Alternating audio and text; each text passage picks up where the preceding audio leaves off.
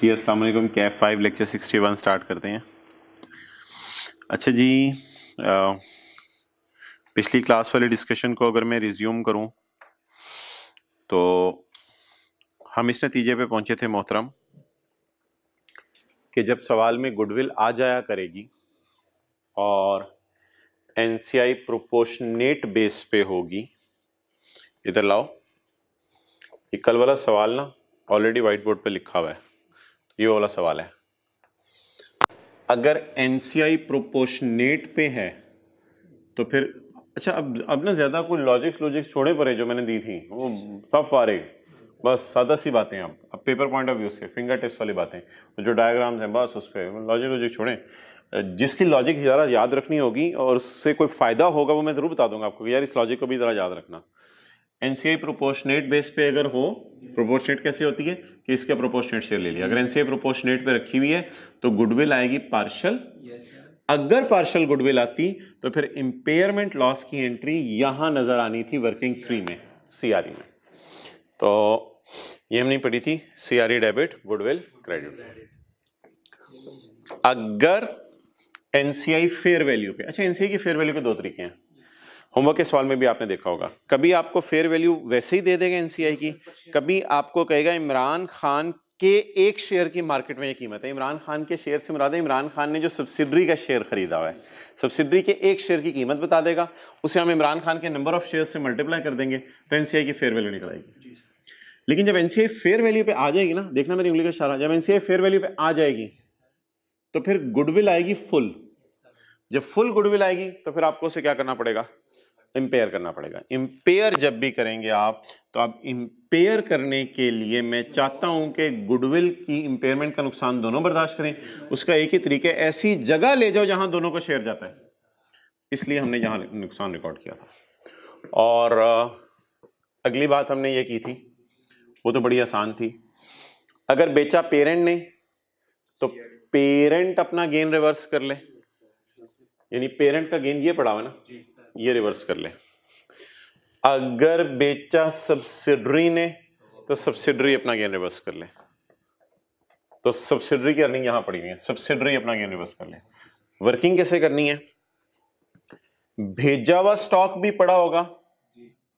जो भेजा है उसने पेरेंट ने वो भी होगा। इसकी इसका कुछ नहीं करना। पड़ा हुआ है। अगर भेजा पेरेंट ने है तो वैसे ये पड़ा किसके स्टॉक में होगा? सब्सिडरी के। तो सब्सिडरी के स्टॉक में वन एटी पड़ा हुआ क्योंकि पेरेंट ने सेल किया है तो इसलिए ये सेलिंग प्राइस पे पड़ा होगा। किसके एतबार से सेलिंग प्राइस छोड़ो? ये सेलिंग प्राइस पे पड़ा होगा। तो इसको सेल वाली फिगर से डिवाइड करना यानी वो C plus P is equal to S cost of profit equal sale वाला फार्मूला इसको सेल से डिवाइड करें मल्टीप्लाई प्रॉफिट से करना ये प्रॉफिट की फिगर आ जाएगी। और इसकी एंट्री मैंने आपको बता दी है। अच्छा जी, यही होमवर्क के सवाल में था अगर आप देखें। होमवर्क के सवाल में इसको इग्नोर करना था। कॉस्ट प्लस ट्वेंटी परसेंट उसी तरह था। अब आपने करना क्या था होमवर्क के सवाल में? आपने पकड़ना था पाँच हज़ार को और डिवाइड करना था एक सौ बीस से और मल्टीप्लाई करना था बीस से। और फिर आपने छह हज़ार को पकड़ना था 120 से मल्टीप्लाई डिवाइड करना था और 20 से क्योंकि इधर दोनों की एक ही उसके ऊपर थी। चलें जी, आज एक नया कॉन्सेप्ट हमने पढ़ना शुरू करना है क्वेश्चन नंबर सिक्स अच्छा आज के सवाल में ना मैंने एडजस्टमेंट्स कम रखी हैं, दो तीन एडजस्टमेंट्स हैं, और इनकी नेचर सेम है। इन तीनों की नेचर सेम है। तो आज का सवाल बनस्बत, बड़ा मज़े का और कंफर्ट हाँ यार एक चीज़ मैंने आपको प्लीज़ बतानी थी, वो मुझे याद आ गया। आज आके ना बच्चों की सुई वहीं अड़ी होती है। ये तीस को माइनस क्यों किया था आपने? आज आके बच्चों की सुई वही वही अड़ी होती है, तीस को माइनस क्यों किया था? मोहतरम तसली से सुन लें। शोहर ने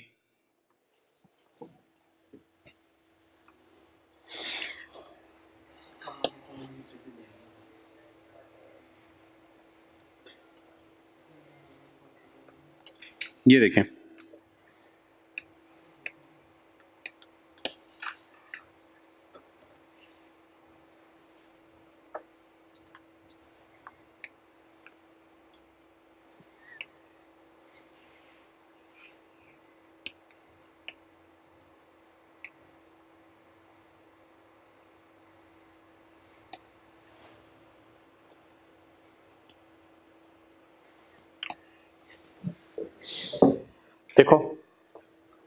शोहर कह रहे मेरे रिसीवेबल में तुमसे तीस रुपए रिसीव करने हैं मैंने, जो तुम्हें मैंने उधार दिया हुआ है। बीवी कह रही है सरताज मेरी लाइबिलिटीज में जो लोन आ रहा है, वो बहत्तर का है। इसमें शायद बहत्तर में से कुछ सब्सिडरी ने किसी और से लोन लिया हो, लेकिन इसमें से पेरेंट को कितना वापस करना है? थर्टी तो ये थर्टी अगर मैं पी और एस को एक तस्वुर करूँ तो ये थर्टी अब कंसोलिडेटेड किताबों में नज़र नहीं आना चाहिए। तो रिसीवेबल अब अब एंट्री जहन में सोचो रिसीवेबल क्रेडिट कर दे माइनस थर्टी और पेएबल या लोन डेबिट कर दे माइनस थर्टी तो रिसीवेबल क्रेडिट और loan payable debit loan receivable credit loan payable debit इस थर्टी की जो एंट्री आपको पहली क्लास में मैंने बता दी थी। लोन रिसीवेबल क्रेडिट और लोन पेएबल डेबिट ये मैंने लिखी नहीं थी कल, पिछली क्लास में। चलें जी ओवर ये एक एंट्री थी। भैया राजा, मिटा देना। आज वाला सवाल पढ़ें जी। आज वाले सवाल से पहले आई, एक कॉन्सेप्ट है क्वेश्चन नंबर सिक्स है ना? हाँ question number six page number seven seventy एक कॉन्सेप्ट है जी।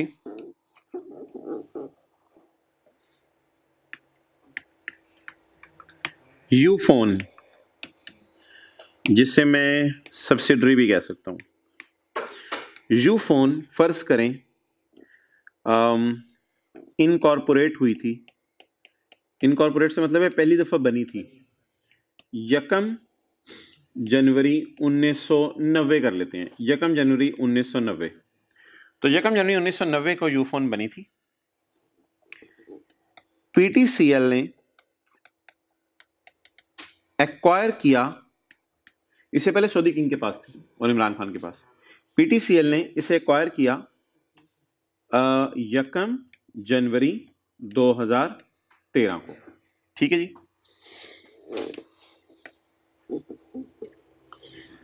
अब ऑन यकम जनवरी 13 ऑन यकम जनवरी 13 सब्सिडरी की बुक्स में नज़र आ रही थी बिल्डिंग सब्सिडरी की बुक्स में नज़र आ रही थी बिल्डिंग सब्सिडरी ने अपनी सेपरेट फाइनेंशियल स्टेटमेंट्स में कॉस्ट मॉडल यूज़ करी थी. कौन सा मॉडल यूज़ करी थी? कॉस्ट मॉडल सब्सिडरी अपनी सेपरेट फाइनेंशियल स्टेटमेंट्स में कॉस्ट मॉडल यूज़ करी थी. तो बिल्डिंग की बुक वैल्यू नज़र आ रही थी based on cost model based on cost model book value होती है कॉस्ट माइनस अकामुलेटेड डेप्रिसिएशन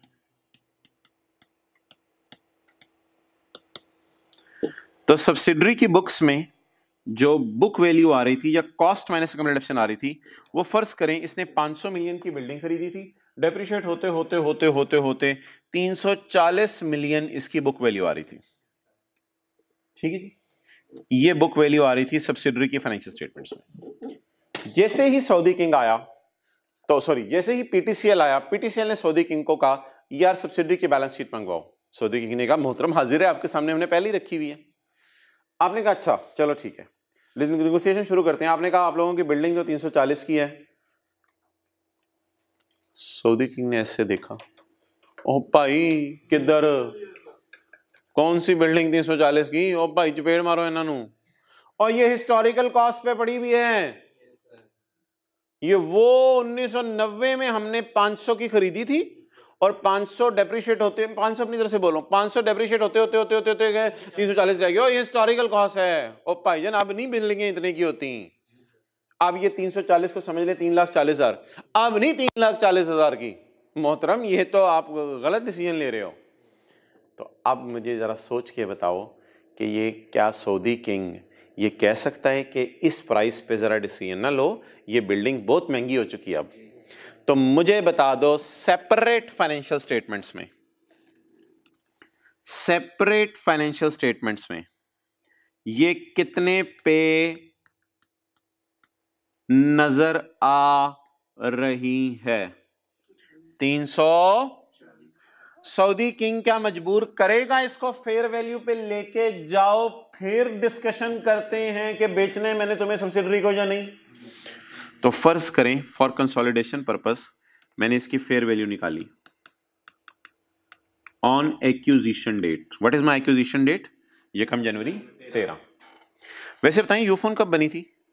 यकम जनवरी 1990 को। मैंने आपको बताया था पीटीसीएल बनी थी यकम जनवरी 1970 को, और ये बनी थी 1990 में। तो यूफोन ने बिल्डिंग कोई ना कोई खरीदी होगी, पाँच पाँच लाख की खरीदी होगी। वो पाँच लाख वाली बिल्डिंग डेप्रिशिएट होते होते होते, हो सकता है पचास साल इन्होंने उसकी लाइफ एज्यूम की हो। तो पाँच लाख वाली डेप्रिशिएट होते होते, मैं एग्जैक्ट फिगर्स की तरफ़ नहीं बोल रहा, ऐसी बात कर रहा हूँ। पाँच लाख डेप्रिशिएट होते होते होते तीन लाख चालीस हज़ार रुपये पहुँच गई भी है एट एक्विजिशन डेट ऑन जकम जनवरी तेरह पीटीसीएल आया बंदे लेके, चल सऊदी किंग निकल, मुझे, मैं खरीदना चाहता हूँ इसको। अब सऊदी की निकाल तमीज से बात करो, ठीक है, कोई मसला नहीं सब्सिडी तूने खरीदनी है, खरीद, लेकिन तमीज से बात करो। अब मोहतरम क्या होगा? इसकी फेयर वैल्यू लगाई जाएगी। इसकी फेयर वैल्यू फ़र्ज़ करें फ़र्ज़ करें for the sake of discussion इसकी फेयर वैल्यू आ गई 500 इसकी फेयर वैल्यू आ गई 500 अब आप कहेंगे, सर, आप मुझे ऐसे क्यों नहीं कैलकुलेशन करवा रहे? बुक वैल्यू मुझे तो आदत पड़ा हुआ रहे। Book value 340 revalued amount 500 revaluation surplus balancing 160 और ठीक है यार, ऐसे करनी है ऐसे कर लेना आप कैलकुलेशन वो आपकी मर्ज़ी है, क्योंकि ये आपको, ये सोलह से आदत पड़ी हुई है। ये बीवी है बिल्डिंग की, लेकिन वो कॉस्ट मॉडल यूज़ करा था अपनी किताबों में। लेकिन हमें कंसोलिडेशन के लिए किस पे लाना पड़ा? मार्केट वैल्यू पे। हमें कंसोलिडेशन के लिए मार्केट वैल्यू पे लाना पड़ा। तो what was the BV three forty what is the market value 500 मुझे बताओ कि सऊदी किंग क्या मुझे कह रहा है कि खुदा के लिए इस बिल्डिंग पे तो महँगी बिक जानी है। अगर तुम मेरे जाते इस बिल्डिंग को भेज दोगे तुम्हें तो अच्छे खासे पैसे दे के जाएगी। अब मुझे बता दें, ये जो हमने कैलकुलेशन की हुई है बीवी और फेयर वैल्यू को कंपेयर करके वर्सेस वाली कैलकुलेशन में सरप्लस आता था आगे सोलह में। और ये वो कौन सा कॉलम होता था? ये एसेट वाला कॉलम होता था। आगे सरप्लस पी एन एल वाले कॉलम डलते थे। अब मुझे बता दें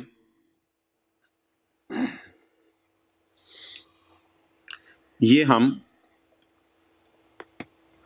ने एक्सरसाइज किस दिन की? रीवैल्यूएशन डेट पे। रीवैल्यूएशन डेट पे किस मकसद के लिए करने लगे हैं? फॉर कंसोलिडेशन लेकिन सेपरेट फाइनेंशियल स्टेटमेंट्स में तूने कॉस्ट पे रखना है। राख कंसोलिडेशन का स्टैंडर्ड कहता है चाहे आपने कॉस्ट पे रखा हो कंसोलिडेशन का स्टैंडर्ड है आईएफआरएस थ्री और टेन वो कहते हैं, चाहे आपने कॉस्ट पे रखा हो एसेट को मेरी तरफ़ से फारिग करो इसको और भाईजन कंपनियाँ बिकने लगी हैं, चीज़ों को फेयर वैल्यूज़ पे लाओ। तो चीज़ को क्या लाना पड़ेगा? फेयर वैल्यू पे। जैसे दराज में कैश पड़े हो दस दस रुपए के दस नोट तो पीटीसीएल यूफोन पीटीसीएल जब खरीदने जाएगा यूफोन को, कहेगा, दस रुपए के नोट मंगवाओ सारे। सारे नोट मंगवाए पीटीसीएल ने देखा, ये सारे जाली नहीं है, असली हैं। अगर उसमें से एक जाली नोट निकल आएगा तो कहेगा, ये तो तुम्हारा नोट ही नहीं है। इसी तरह ये बिल्डिंग थी। इस बिल्डिंग को जब सामने रख के डिसीज़न होने लगा तो सऊदी किंग फ़ौरन बोला बोहतरम ये बिल्डिंग आपको बुक्स में 340 की नज़र आ रही है, बाज़ार में कितने की है? 500 की है। आप बता दो, इसके ऊपर रीवैल्यूएशन सर प्लस कितना आ रहा रे 160 तो इस पे रिवेल्यूशन सरप्लस आ रहा 160 ये रिवेल्यूशन सरप्लस कि एडजस्टमेंट्स क्या होंगी एंट्रीज क्या होंगी, वो बाद की बात है यार। मुझे बैलेंसिंग बता दो कितना आ गया? 160 अच्छा ये हम क्या डिस्कशन करें री वैल्यूएशन ऑफ़ किसके एसेट्स सब्सिडरी के एसेट्स किस दिन? ऑन एक्यू नहीं नहीं on acquisition date consolidation date में बाद में बात करता हूँ। ऑन एक्यू एक्विजिशन डेट चलें जी। कहीं इसको नोट कर लें किताब के अंदर। जगह इसी सफ़े पे खाली है। बीवी को किस पे लेके जाने? फेयर वैल्यू पे। आसमान पे लेके जाने। तो कितना सरप्लस आ गया?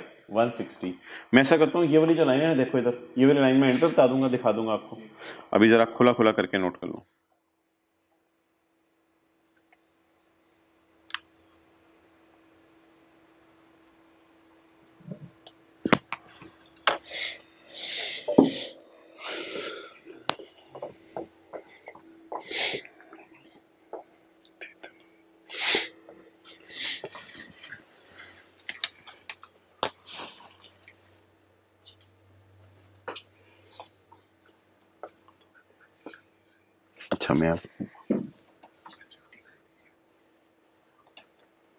नहीं नहीं फिफ्टी पे तो लाना होगा ना आपने।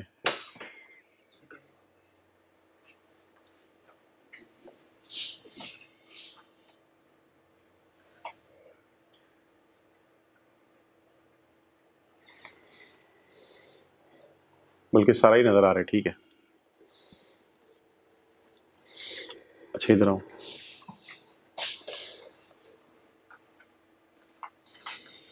इनको ढूंढो, अगर कॉलेज में आए हुए हैं। सर राजान आ रहे आपके पास सर इधर आइए क्लास में। I need this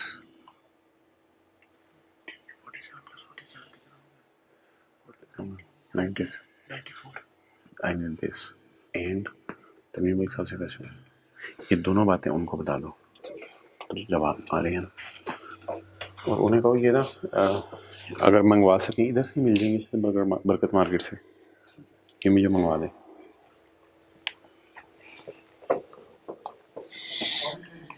हाँ? नहीं नहीं बेशक दो ढाई बजे तक मंगवा दें। Forty seven plus forty seven. Okay. अच्छा जी, हमारा बहस का मकसद क्या है आज? बड़ी लॉजिकल डिस्कशन क्या जिस वक्त हम खरीदने जाते हैं सब्सिडरी को तो सूली तौर पे सब्सिडरी के एसेट्स की फेयर वैल्यूज़ हमें मालूम होनी चाहिए। लेकिन सेपरेट फाइनेंशियल स्टेटमेंट्स में सब्सिडरी ने किस पे रखा होता है? हिस्टोरिकल कॉस्ट पे रखा होता है। तो उस हिस्टोरिकल कॉस्ट को उड़ा के किस पे लाना होता है हमने? फेयर वैल्यू पे। तो आसमान पे भी जा सकता है, ज़मीन पे भी गिर सकती है। सरप्लस भी आ सकता है रिवेल्यूशन लॉस भी आ सकता है।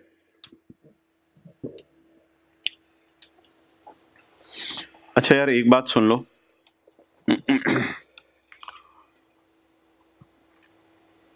कि ये जो सरप्लस वगैरह है ना सब्सिडरी के सर जी वो राजान लड़के ना वो दो बातें आपको बताएगा। आ, दो ढाई बजे तक एक काम अभी कर दें और एक।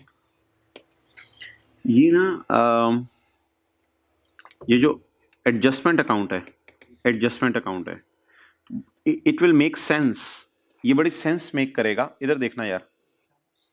इधर देखना।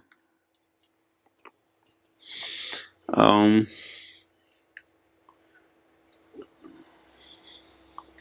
एक कंपनी है। बड़ी मज़े की डिस्कशन होने लगी है। Um, कल हमने फॉर्मूला क्या पढ़ा था? कल हमने फॉर्मूला पढ़ा था equity is equal to assets minus liabilities done done done okay share capital retain earning वगैरह, क्लियर? अच्छा। एक कंपनी कहती है कि जी, मेरे एसेट्स की बुक वैल्यू आ रही है। बोलो बोलो बोलो, मेरे एसेट्स की बुक वैल्यू कितनी आ रही है? 300 अभी अभी कितनी थी? 340 और मेरे पास सिर्फ़ बिल्डिंग है। हमने कहा, शहजादे, सिर्फ़ बिल्डिंग है तेरे पास? कहते हैं हाँ यार, तंग ना कर, सिर्फ़ बिल्डिंग है मेरे पास। सिर्फ़ बिल्डिंग है। हमने कहा कि लाइबिलिटीज वगैरह कहते हैं लाइबिलिटीज कोई नहीं है। तो इक्विटी भी कितनी होगी इसकी? 340 मुझे नहीं पता शेयर कैपिटल कितना है रिटेन अर्निंग कितनी है। बोले तो इक्विटी कितनी हो गई? 340 क्या मैं ये कह सकता हूँ ये मेरे नेट एसेट्स हैं। कल की क्लास परसों की ली थी परसों पिछले से पिछली class net assets net assets की बीवी है ऑलमोस्ट मेरे ख्याल से क्योंकि मैंने कॉस्ट मॉडल यूज़ करा हूँ। ठीक है जी ये मेरे नेट एसेट्स हैं। क्लियर क्लियर अच्छा यार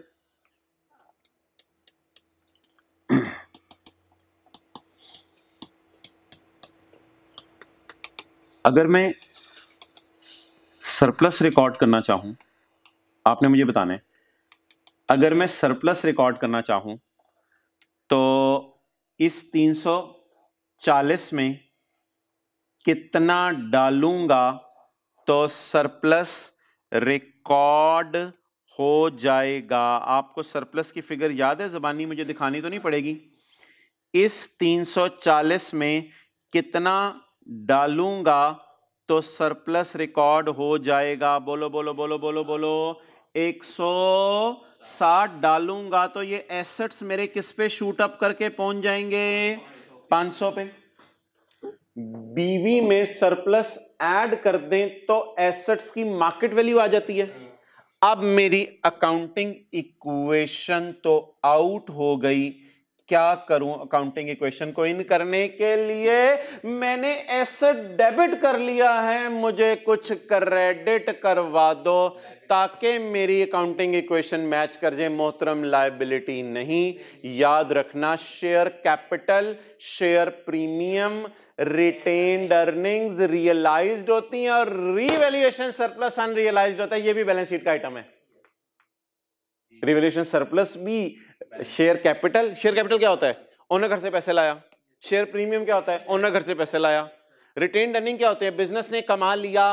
और सरप्लस क्या होता है? बिज़नेस कमा लेगा।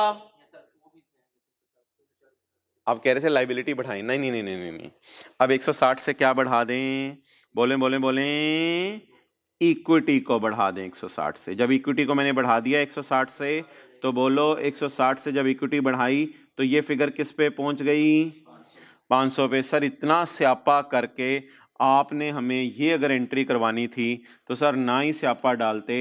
Asset debit 160 revaluation surplus credit 100 हाँ एंट्री ये करवानी थी लेकिन मैंने साबित करना था ये इक्विटी में जाता है सरप्लस ये मैंने साबित करना था सरप्लस कहाँ जाते हैं? इक्विटी के अंदर जाते हैं। तो नो नो नो नो ये बिल्कुल नोट करने की ज़रूरत नहीं ऐसे ये लिखोगे फिर नोट करोगे बस ये देख लो। Asset debit revaluation surplus credit ये इतना स्यापा आपको क्यों कराया? क्योंकि मैंने ना फाइनल अकाउंट नहीं पढ़ाया हुआ। तो फाइनल अकाउंट में हम इंशाल्लाह देख लेंगे। रिटेन अर्निंग रिवोल्यूशन सरप्लस इकट्ठे आ रहे होते हैं। तो छोड़ो इस बात को। तो मोहतरम, ये जो सरप्लस वगैरह आया करेंगे ना सरप्लस वगैरह, ये आपने यहाँ डाल दिया करने ये आपने यहाँ डाल दिया करने सरप्लस वगैरह।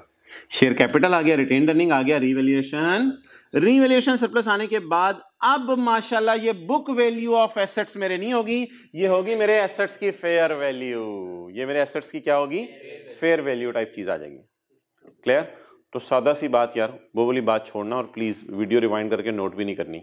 मुझे बता दें what is the format of working one share capital of subsidiary retain earning of subsidiary and revaluation surplus on the assets of subsidiary done एक बात याद रखना सब्सिडरी का शेयर कैपिटल बैलेंस शीट में नज़र नहीं आता वर्किंग वन में नज़र आता है। Yes. पहली क्लास कटिंग yes. में यूज़ होता है। याद रखना सब्सिडरी की रिटेन अर्निंग बैलेंस शीट में नज़र नहीं आती। आती हैं। सब्सिडरी के सरप्लस बैलेंस शीट में नज़र नहीं आते यहाँ नज़र आते हैं वर्किंग वन में। तो जहाँ सब्सिडरी की इक्विटी पड़ी है तो वहीं ये वाली इक्विटी भी ले आए। वो वो ज़रूरी नहीं है। वो अलग वो वो अलग बहस है कि इमरान खान उस वो क्या पसंद कर रहे हैं। इसका कोई वो ज़रूरी नहीं है। सबसे नहीं नहीं, ये सब्सिडरी के एसेट्स आ रहे हैं फेयर वैल्यू के ऊपर। Okay ji done okay last concept of today मुझे बता दें यार कि अब मैं क्या 160 की एंट्री करूँ? मुझे बता दें सेपरेट बुक्स में कितने पे पड़ा है? सेपरेट बुक्स में कितने पे पड़ा है? 340 में कॉस्ट मॉडल पे पड़ा है, बोले। क्योंकि ये मैंने कॉस्ट माइनस कंप्लीशन लिखी है। सेपरेट बुक्स में किस पे पड़ा है? कॉस्ट मॉडल पे। मैं कंसोलिडेशन के लिए किस पे लाना चाहता हूँ? फेयर वैल्यू के ऊपर। सेपरेट में वो करता रहे कॉस्ट मॉडल मुझे उससे कोई फ़र्क नहीं पड़ता। कंसोलिडेशन के लिए लाना ज़रूरी है, वरना गुडविल्स गलत निकलेंगी। तो सेपरेट कंसोलिडेटेड बुक्स में सेपरेट बुक्स में कितने पे पड़ा है? मैं उठा के किस पे लाना चाहता हूँ? 500 पे। मुझे बता दें, मुझे सरप्लस आ रहा है या लॉस आ रहा है? सरप्लस आ रहा है। तो अब ऐसा करते हैं मोहतरम। जनरल एंट्री लिखते हैं इसकी। क्या जनरल एंट्री बनी बोले? ऐसे debit surplus in working one credit जहाँ उसकी इक्विटी वगैरह पड़ी हुई है। नहीं ओसीआई ओसीआई नहीं। बैलेंस शीट में ओसीआई का लफ्ज नहीं यूज़ करना। बस सरप्लस इन वर्किंग वन और ऐसे ही कुछ बच्चे फिर भी तंग करते हैं क्लास में कि सर फिर भी सर बता दें, ये रिवेल्यूशन सरप्लस यहाँ क्यों आ रहा है? तो मैं उन्हें फिर यही बात करके ना ख़त्म कर देता हूँ बात। मोहतरम, नहीं नहीं नहीं नहीं। मैं उन्हें कहता हूँ, यार, देखो आप ज़्यादा बहस में ना पढ़ो ये देखो। अगर ये बिल्डिंग बिक जाती तो इसका प्रॉफिट रिटेन अर्निंग में आ जाना था। नहीं बिकी तो सरप्लस में डाल दो इसका प्रॉफिट। ज़्यादा ही जो बच्चे फिर बहस करते हैं ना कि सर फिर भी सरप्लस यहाँ क्यों आ रहा है? अगर ये बिल्डिंग ना बिकती तो अगर बिल्ड बिक जाती बिक जाती तो इसका प्रॉफिट रियलाइज़ हो जाता, यानी बेच, बाज़ार में बेच के पैसे आ जाते, फिर इसका प्रॉफिट रिटर्निंग में चला जाता रिटेन अर्निंग में चला जाता। लेकिन अभी मैं क्या क्या कह रहा हूँ, नहीं बिकी तो कहाँ शो कर दें रिवेल्यूशन सरप्लस में। एंट्री बोलो बोलो बोलो, जल्दी asset debit revaluation surplus in working one credit एक मसला और आएगा, वो आएगा डेप्रिसिएशन का। वो कब का आएगा? डेप्रिसिएशन का। डेप्रिसिएशन के लिए आपने थोड़ा सा मुझे हेल्प आउट करना है। डेप्रिसिएशन के लिए, ये मैंने पहली एंट्री कर दी। डेप्रिसिएशन की एंट्री मैं नहीं करूँगा। मुझे बताओ कि एक्यूजिशन डेट क्या है? एक्यूजिशन डेट मैंने इसको किस दिन बाय किया है? What is my acquisition date यकम जनवरी तेरह। अगर डिफरेंट ऑप्शंस डिफरेंट ऑप्शंस आपके सामने। अगर कंसोलिडेशन डेट। मेरी यकम जनवरी तेरह को ही हो। तो फिर मोहतरम, ऐसी सूरत में डेप्रिसिएशन की टेंशन लेने की ज़रूरत नहीं है। ठीक है? लेकिन अगर कंसोलिडेशन में इकतीस, बारह, तेरह पे खड़े होके करूँ, मैंने खरीदा कावे सब्सिडरी को, यकम जनवरी, ये मेरी नो वाली डेप्शन वाली बात, अगली वाली बात पढ़ के समझ आनी है, ऐसे नहीं आनी। मैंने खरीदा कब सब्सिडरी को? यकम जनवरी तेरह। को। यकम जनवरी तेरह से इकतीस बारह तेरह तक जिद्दी सब्सिडरी कॉस्ट मॉडल वाली डिप्शन रिकॉर्ड कर रही होगी सेपरेट फाइनेंशियल स्टेटमेंट्स में। और मैं चाह रहा हूँ फेयर वैल्यू वाली डिप्शन रिकॉर्ड हो। तो बोलो कितने साल हो गए हैं कि मैंने उसको खरीदा हुआ है? एक। साल से वो सब्सिडरी क्या कर रही है? कॉस्ट मॉडल वाली डेफिनेशन यूज़ कर रही है। मैं तो खरीदने के बाद वाली टेंशन है ना। एक साल से वो कौन सा मॉडल यूज़ कर रही है? कॉस्ट मॉडल और मैं क्या चाह रहा था, एक साल पीछे से किस पे आ जाए? रिफेयर वैल्यू मॉडल पे। उसने अपनी सेपरेट बुक्स में कॉस्ट मॉडल वाली डेफिनेशन चार्ज की होगी। अब मुझे फेयर वैल्यू पे डेप्शन नहीं निकालनी। इसको आइए सोलह से कोई मिक्स ना करना। जितना कॉन्सेप्ट जितना दिया जा रहा है, उतना पड़ा करो। आइए सोलह से मिक्स करके कोई सवाल नहीं, आपने मेरे से पूछने। कि सरप्लस रिटेन अर्निंग में कहाँ गया, क्या हुआ, खुदा के लिए। Do not mix up the things बात बढ़ाने को जितनी मर्ज़ी बढ़ा लो सिलेबस नहीं खत्म होना फिर। ये हर एक चीज़ की डीप में जाते रहो। मैं सदा सदा जो बातें कर रहा हूँ, वो समझो। जी सब्सिडरी कितने अरसे से यूज़ कर रही है कॉस्ट मॉडल हमारे खरीदने के बाद से, एक साल से। और हम एक साल से क्या चाह रहे हैं, ये कौन सा मॉडल यूज़ करें? फेयर वैल्यू मॉडल यूज़ करें रिवोल्यूशन मॉडल यूज़ करें। अब मुझे बता दें, कितने अरसे से ये बुक वैल्यू डेप्रिशिएट कर रही है हमारे खरीदने के बाद से, एक साल से। और मैं चाह रहा हूँ, एक साल से फेयर वैल्यू प्रोडक्शन चार्ज हो। अब मैं कंसोलिडेटेड बुक्स में एक साल की जो डेप्रिसिएशन निकालनी है, वो बुक वैल्यू पर निकालूं, अपनी वर्किंग्स में फेयर वैल्यू पर निकालूं या सरप्लस पर निकालूं? एक्सेलेंट उल्टा रखो इसको मोबाइल को। मैं चाह मैं चाह क्या रहा था? फेयर वैल्यू वाली डेप्शन वो रिकॉर्ड करता। उसने कहा मैंने तो कॉस्ट मॉडल वाली करनी है। तो अब किस पर सेपरेशन रिकॉर्ड करें तो मसला हल हो जाएगा? सरप्लस पर। तो मैं सरप्लस पर डेप्शन निकालूँगा कितने साल की? एक साल की। एक साल डेप्शन निकालूँगा। लेकिन अगर पेपर में कंसोलिडेशन मुझे करनी पड़ गई इकतीस बारह सोलह को अगर इकतीस बारह सोलह को मुझे कंसोलिडेशन करनी पड़ गई तो मुझे बताएँ, कितना अरसा हो गया मैंने सब्सिडरी को खरीदा हुआ है? तेरह, चौदह तेरह, चौदह, पंद्रह, सोलह। चार साल से जिद्दी सब्सिडरी अपनी सेपरेट फाइनेंशियल स्टेटमेंट्स में किस मॉडल वाली रिकॉर्ड करी होगी? कॉस्ट मॉडल वाली। और चार साल से मैं चाह रहा हूँ ये कौन सी वाली डिप्शन रिकॉर्ड करे? रिवोल्यूशन मॉडल वाली डेप्रिसिएशन रिकॉर्ड करे। तो चार साल से वो डेप्रिसिएशन रिकॉर्ड करी होगी सेपरेट बुक्स में किस पे? कॉस्ट मॉडल पे। और चार साल से मैं चाह रहा हूँ कि वो रिकॉर्ड करती पेयर वैल्यू मॉडल वाली। तो कॉस्ट मॉडल वाली तो उसने कर ली हुई है। सरप्लस वाली कर लेते हैं। सरप्लस वाली हम कर लेते हैं रिकॉर्ड क्लियर तो सरप्लस वाली हमने रिकॉर्ड करनी है डेप्रिसिएशन सरप्लस पे निकलनी है। लेकिन कितने साल की अब? चार। चार साल की डेप्शन निकला करेगा। क्लियर चलें जी लेट स्टार्ट अब आज का सवाल शुरू करते हैं प्रॉपर तरीके से। ये नो, ये नोट कर लें डेप्रिसिएशन की डिस्कशन उसी के ऊपर ना डिस्कशन ऑफ़ डेप्रिसिएशन जी मोहतरम डन अब आप पैरा नंबर्स लिखें और उनको जाके सॉफ्ट में बेशक बता भी देंगे आपको।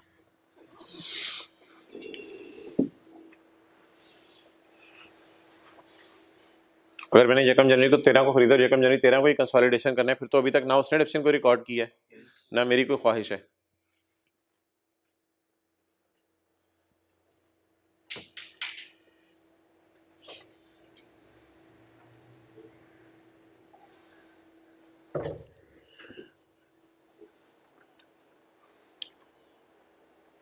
कितनी ऑप्शन है कंसोलिडेशन रेट में?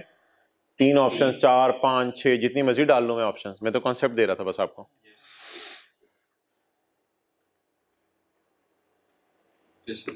Discussion of depreciation on revaluation surplus ये भी याद रखना। रिवेल्यूशन सरप्लस रिडक्शन रिकॉर्ड हुआ करेगी।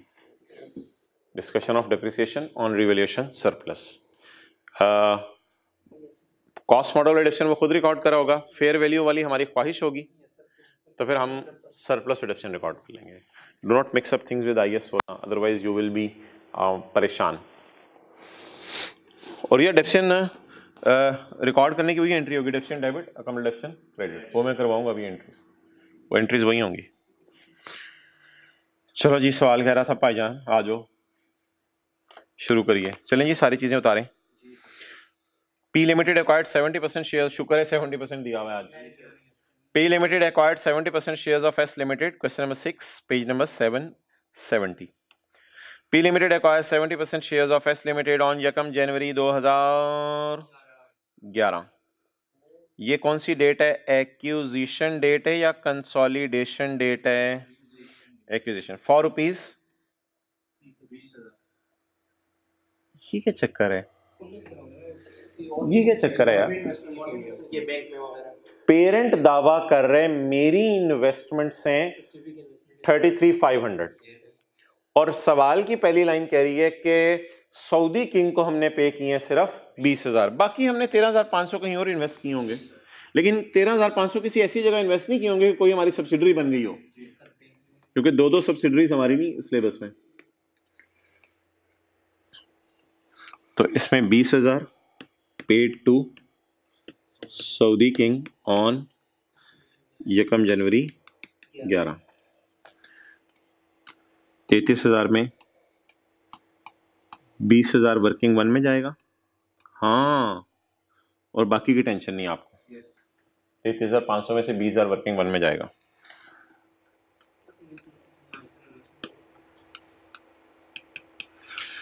चलें जी सत्तर हज़ार पाँच सौ साठ हज़ार पाँच सौ तैतीस हज़ार बा, बाकी सब्सिडरी की अपनी इन्वेस्टमेंट्स हैं। ये इसने को कोई बैंक में पैसे रखवाए होंगे। डेटर आ रहे हैं इन्वेंट्री ओहो आज बड़ा ज़बरदस्त हुआ डेटर इन्वेंट्री आ रहे हैं। अच्छा होमवर्क के सवाल में तो ऐसा नहीं था? होमवर्क में भी ऐसे ही था डेटर इन्वेंट्री आ रहे थे फिर इन्वेंट्री वाली एडजस्टमेंट इन्वेंट्री में करनी पड़ी थी। ओके शेयर कैपिटल आ रहा है शेयर प्रीमियम आ रहा है रिटेन अर्निंग्स आ रही हैं। ये रिटेन अर्निंग्स का बता दो क्या करना है? पेरेंट की कहाँ जानी है? वर्किंग थ्री और सब्सिडरी की? वर्किंग टू यार, ये आज नई चीज़ आ गई है। क्या? कैपिटल रिज़र्व जनरल रिज़र्व भी इनको कहते हैं। सर, ये क्या होते हैं? यार, ये रिटेन अर्निंग की टूटी हुई बाजू होते हैं। सर, ऐसे लफ्स ना बोलें, बोलने दें। ये रिटेन अर्निंग की टूटी हुई बाजू होती है। क्या मतलब? असल में रिटेन अर्निंग को ना हमेशा शेयर होल्डर्स देखते हैं ललचाई हुई नज़रों से। और रिटेन अर्निंग को देख के कहते हैं कंपनी को यार हमें हमें ये बांटो डिविडेंड वगैरह दो। तो फिर कंपनीज़ ना रिटेन अर्निंग्स इस कंपनी की शायद 47 प्लस एट थी। फोर्टी सेवन प्लस एट कितनी बनती है?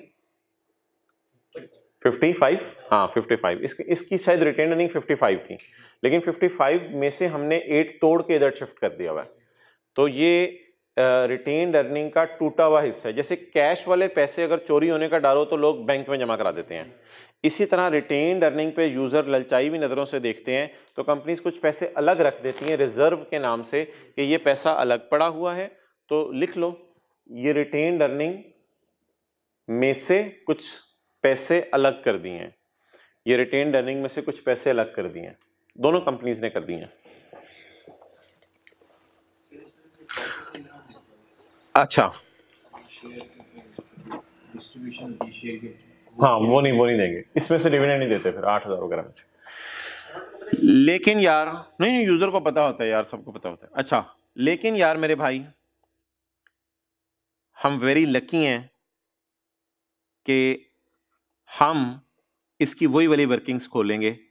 इसकी वर्किंग हम आज नई बनाएँगे 3.1 बिल्कुल उसी जैसी थ्री जैसी।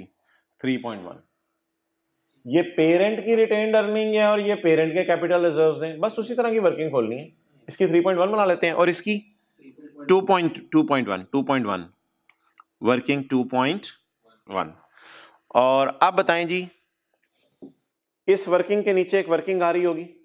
थ्री के नीचे थ्री पॉइंट वन और टू के नीचे सर बाद में इनका क्या करेंगे? वो देख लेंगे इनशाला देख लेंगे इनशाला अच्छा और क्या आ रहे हैं मेरे? क्राइटर्स एक बात और मुझे बताओ और गौर से बताओ और डंके की चोट पे बताओ और बताते जाओ। वो बात ये मुझे बताओ कि क्या जिस वक्त हमने सब्सिडरी को खरीदा होगा क्या उस दिन भी इसकी कैपिटल रिज़र्व उतने ही होंगे या हो सकता है रिटेन अर्निंग भी डिफरेंट हो कैपिटल रिज़र्व भी डिफरेंट हो?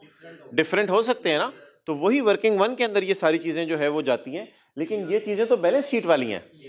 तो प्री वाली हमें नीचे जाके देखनी पड़ेंगी। अच्छा वैसे पूछ रहा हूँ ये share capital share premium retain earning capital reserve creditors ये क्रेडिट नेचर के अकाउंट होते हैं डेबिट नेचर के? क्रेडिट नेचर के। ये सारे इक्विटी और लाइबिलिटीज क्रेडिट नेचर के अकाउंट होते हैं। क्रेडिट नेचर का मतलब है इनकी आम बैलेंस क्रेडिट होता है। लेकिन ये जो ऊपर वाले अकाउंट होते हैं पीपी डेटर इन्वेंट्री ये कौन से नेचर के अकाउंट होते हैं? डेबिट ये जो लफ्स यूज़ होते हैं ना कभी कभी क्रेडिट बैलेंस इसका मतलब है इन अकाउंट्स की क्रेडिट साइड भारी होती है। और ये जो लफ्स यूज़ होते हैं ना डेबिट बैलेंस इसका मतलब होता है कैश अकाउंट की डेबिट साइड भारी है। डेबिट बैलेंस, लैंड की डेबिट साइड भारी है। डेबिट बैलेंस, बैंक की डेबिट साइड भारी है। लोन पेएबल लोन पेएबल की क्रेडिट साइड भारी है। तो ये डेबिट और क्रेडिट बैलेंस का लफ्स यूज़ कभी कभी हो सकता है। इसलिए कि बताया नहीं होता कि ये आपस के हैं तो फिर ये एक्सटर्नल होते हैं। भाई पूछ रहे थे डेटर और क्रेडिटर को आपस में क्यों नहीं कैंसिल करते? ये आपस के होंगे तो सवाल बताएगा। वरना तो पीटीसीएल के अपने डेटर अलग हैं, मैंने पहली क्लास में बताया था। वो जिनसे लैंडलाइन के पैसे लेने हैं। और यूफोन के अपने डेटर अलग हैं, वो जो सरासी से पैसे लेने थे बिल के। अच्छा जी following further information is available छोड़ें यार फर्दर इन्फॉर्मेशन को। सवाल का फेस नोट करें। सवाल का फेस नोट करें। पूरा फेस उतार लें इधर। T group consolidated statement of financial position इकतीस दिसंबर चौदह। चलें जी प्रॉपर्टी प्लांट एंड इक्विपमेंट कितना आ रहा है? हाँ थाउज़ेंड में करेंगे बिल्कुल। सेवेंटी पॉइंट फाइव और sixty point five seventy point five और सिक्सटी पॉइंट फाइव अच्छा ब्रैकेट्स क्लोज नहीं करनी आज क्योंकि अब हमारी एडजस्टमेंट्स आहिस्ता आहिस्ता बढ़ती जा रही हैं। ब्रैकेट्स क्लोज नहीं करनी कोई भी। इन्वेस्टमेंट में बीस हज़ार ले जाएँ। लेकिन मैं आपको एक और मशवरा देने लगा हूँ ज़रा देखिएगा अगर पसंद आया।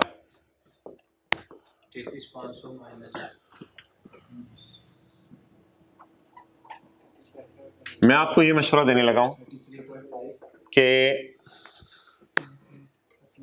वर्किंग वन साथ खोल लेते हैं।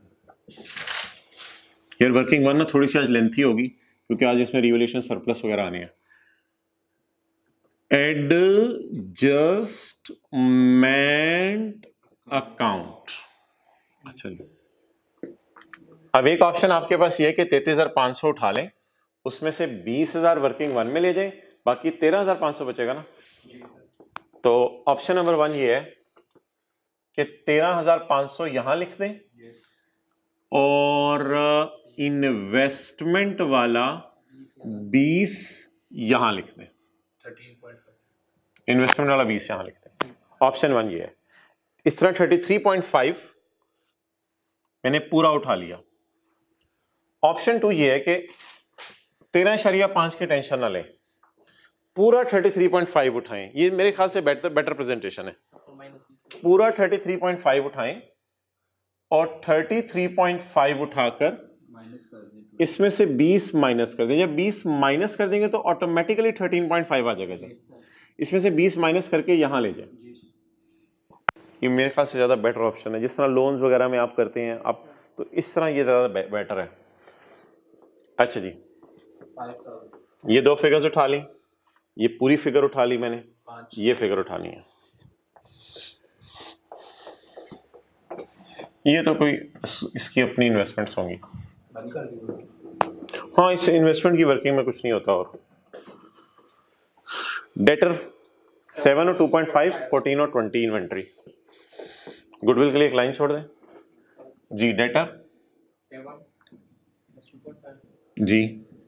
Inventory fourteen plus twenty fourteen plus twenty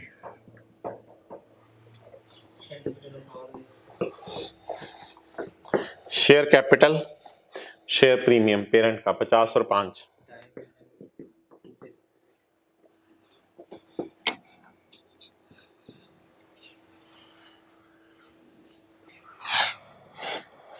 मुझे दो लाइनें यहाँ छोड़नी पड़ेंगी, एक इंटेंजेबल भी शायद आना है।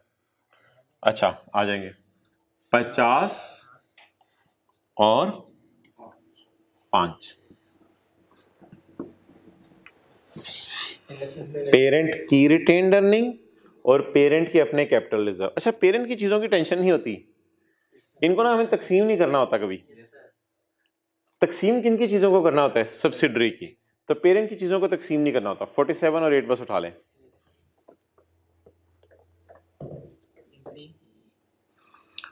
Working three.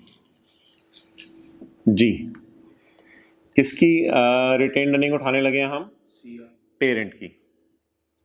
पेरेंट की रिटेन रनिंग बोले जी। फोर्टी सेवन अच्छा। अब यार एक लफ्स में बोलने लगा हूँ। ये क्या है? ये ना, अगर मैं कभी उंगली रखा करूँ, आपसे पूछा करूँ, ये क्या है? तो आप ना, ये नहीं, गलत जगह लिख दी मैंने। ये, आप बस बोल दिया करें, सर, ये क्या है? आप हमें टेंशन नहीं है, सर, पी की रिटेंडर नहीं। सर, आप उंगली रखें और हमारे से पूछें, ये क्या है? हम आपको बताएँगे। पी की इन्वेंट्री। पी की रिटेन अर्निंग लेकिन एक बात सुनो यार, पी की रिटेन अर्निंग का हमने नाम कुछ और रख दिया है, क्योंकि सब्सिडरी भी अपनी रिटेन अर्निंग में साल के आखिर में इसको भेजनी होती है। इसलिए पी की रिटेन अर्निंग का लस तो हम लिखते हैं और सब्सिडरी की रिटेन अर्निंग का ईयर एंड तक इंतज़ार करते हैं ताकि इसका नाम क्या रखें? कंसोलिडेटेड रिटेन अर्निंग अब थोड़ी सी हेल्प कर दो मुझे ताकि नामों में गलती ना हो। मैं आपकी फरमाइश पर वर्किंग 3.1 ओपन करने लगा हूँ। आज ज़िंदगी में पहली दफ़ा वर्किंग 3.1 पहले ऐसा करो मुझे इसका नाम बता दो। इसका नाम बता दो। नाम फ़िलहाल बता दो। पेरेंट का कैपिटल रिज़र्व जैसे पेरेंट की रिटेन अर्निंग पेरेंट का कैपिटल रिज़र्व इसी का टूटा हुआ हिस्सा कितना? एट लेकिन यार, ऊपर कोई नाम आप जरा मुझे लिखवाने की कोशिश करो। हाँ क्योंकि इसमें हो सकते किसी और के रिज़र्व भी आ जाए। तो उसी बुनियाद पे इसको क्या कहते हैं? पेरेंट की रिटेन अर्निंग लेकिन कंबाइंड नाम की और चीज़ आनी होती है इस वजह से इसका नाम? और इसका नाम बोले कंसोलिडेटेड कैपिटल रिज़र्व भूलेगा तो नहीं नाम? चले। पी का एस का शेयर कैपिटल yes. और एस का शेयर प्रीमियम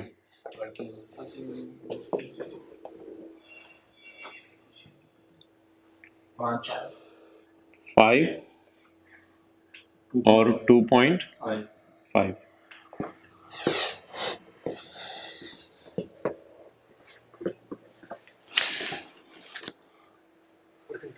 thirty two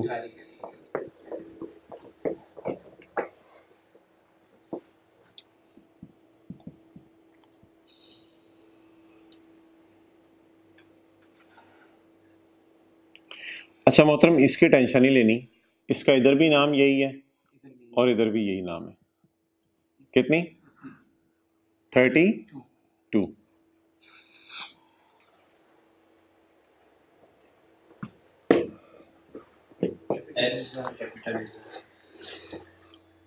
इसका जब नाम मैंने एस रिटेंडर नहीं रखा है तो फिर इसका भी नाम बदलने की ज़रूरत नहीं। एस के कैपिटल रिज़र्व इसका टूटा हुआ हिस्सा। एस के कैपिटल रिज़र्व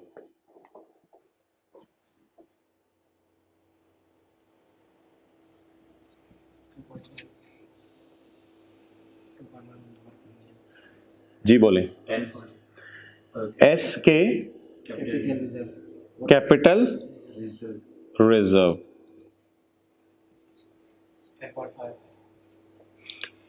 एस के कैपिटल रिज़र्व जी कितने? Ten point five current creditors भी आ रहे हैं? Yes. कितने? फिफ्टीन और थर्टी एट चलें जी। अल्लाह का शुक्र है, सवाल की सारे फिगर्स पोस्ट हो गए।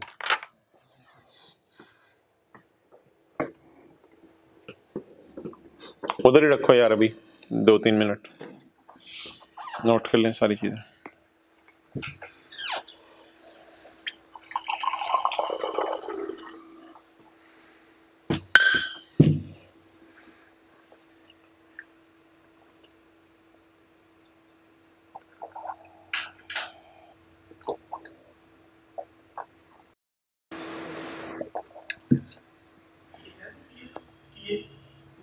हाँ उधर है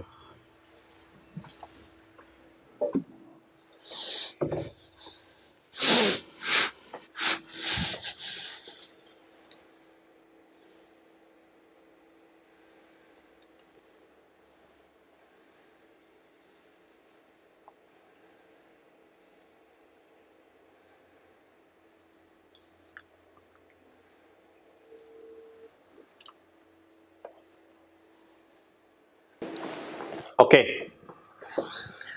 चलें जी। अब आप हजरात मुझे बताएँ कि सवाल का सारा डाटा पुट हो गया। थोड़ी सी एहतियात जो मैंने बताई, वो अगर याद रहे। पेरेंट रिटेन्ड अर्निंग इसका टूटा हुआ हिस्सा पेरेंट कैपिटल रिज़र्व लेकिन पेरेंट इंतज़ार कर रहा होता है सब्सिडरी की रिटेन्ड अर्निंग के लिए। और पेरेंट के कैपिटल रिज़र्व भी तो इंतज़ार कर सकते हैं किसी चीज़ के लिए। इसलिए पेरेंट रिटेन अर्निंग का इधर ऊपर टॉप पे नाम कंसोलिडेटेड रिटेन अर्निंग और पेरेंट कैपिटल रिज़र्व का? कंसोलिडेटेड कैपिटल रिज़र्व क्लियर चलें जी अब आप आगे फिगर्स को मूव करवाना शुरू करें। पहली एडजस्टमेंट सवाल की पढ़ें।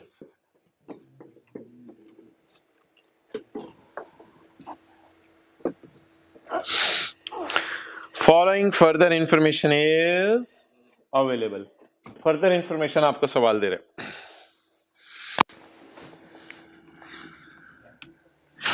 at the time of acquisition जिस वक्त हमने सब्सिडरी को खरीदा सब्सिडरी है दा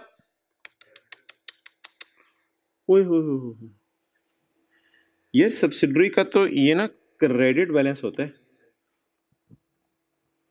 सब्सिडरी है debit balance on retain earnings of six thousand अच्छा चलो इसको भी डिस्कस करते हैं ज़रा। Subsidy had a debit balance of six thousand इसको छोड़ें।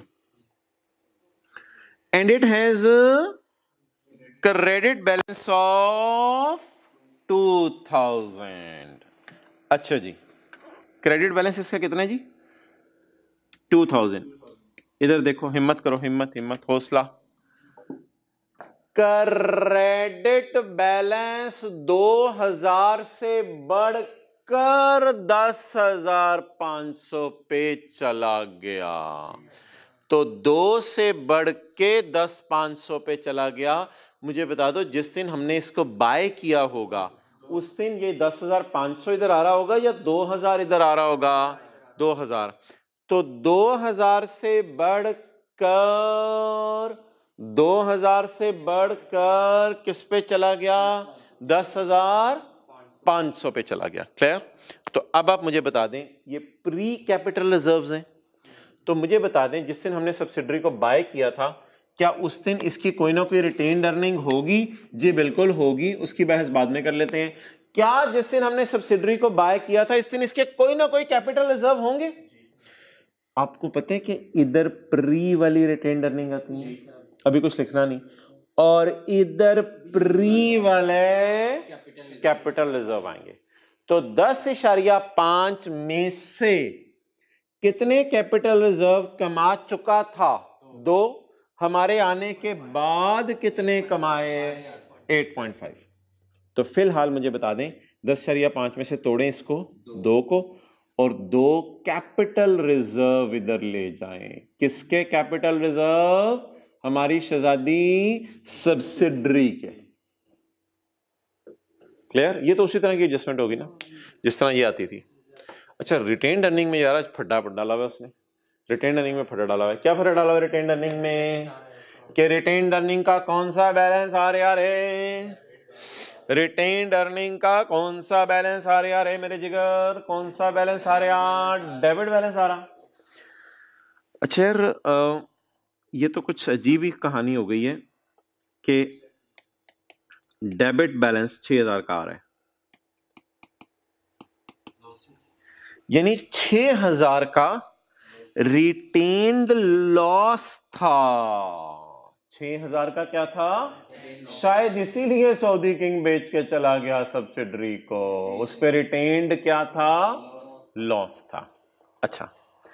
अब for the sake of discussion मैं एक बात करने लगा हूँ। मैं ये नहीं कह सकता छह हज़ार से बत्तीस हज़ार पे पहुँचे। असल में बहुत बड़ी गेम हुई है। छह हज़ार और बत्तीस हज़ार का डिफरेंस वैसे कितना है? छह हज़ार और बत्तीस हज़ार का डिफरेंस बोलो बोलो, छह हज़ार और बत्तीस हज़ार का डिफरेंस कितना है? छब्बीस? ये छब्बीस गलत है। इधर देखो। जिस वक्त मैंने ये ज़ीरो जिस वक्त मैंने सब्सिडरी को खरीदा, ये है टाइम लाइन आपको पता है टाइम लाइन्स पे इस साइड पे पॉजिटिव्स होते हैं, इस साइड पे नेगेटिव्स होते हैं। जैसे मैं आपको समझाना चाहूँ negative one negative two negative three positive one positive two positive three ये कभी सीखे किसी क्लास में? सिखाते थे टीचर अच्छा। जिस दिन मैंने उसको बाय किया था ना तो ये ज़ीरो से भी नीचे था। इसका था यहाँ पर नेगेटिव साइड पे लॉस था छ का। छ का लॉस था।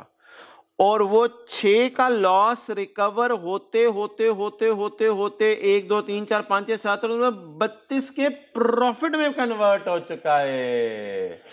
तो इसका मतलब है सब्सिडरी का रिटेन्ड लॉस था। सर उसने तो डेबिट बैलेंस लिखा हुआ है। भाई, इतने मुश्किल लफ्ज तो मुझे नहीं याद रहने पेपर में। इसलिए मैं रिटेन्ड लॉस लफ्ज लिख रहा हूँ। और इधर रिटेन्ड प्रॉफिट है, या रिटेन अर्निंग है। तो मुझे बता दें, मैंने जब से सब्सिडरी को खरीदा हुआ है, क्या उसने छ से बत्तीस, कितना है वैसे डिफरेंस छह से बत्तीस? क्या उसने छब्बीस कमाया? नहीं नहीं नहीं नहीं ये वाला छह मैंने गलत लिखा है। उसने बत्तीस नहीं कमाया। उसने लॉस की रिकवरी करके ज़ीरो पे आया होगा। छह तक ये कमाया होगा और बत्तीस आगे। उसने मुझे लग रहा है खरीदने के बाद से लेके आज तक सब्सिडरी ने कमाया अठतीस का। क्लियर हो गया? तो ये अठतीस उसने कमाया है और ये हमारे डिसीजंस इसमें रोल प्ले कर रहे हैं। हमारे डिसीजंस इसमें रोल प्ले कर रहे हैं। क्लियर चलें जी नोट कर लें। ऐसे मैंने समझाया रिटेन लॉस का क्या कॉन्सेप्ट होता है और रिटेन अर्निंग का क्या कॉन्सेप्ट होता है?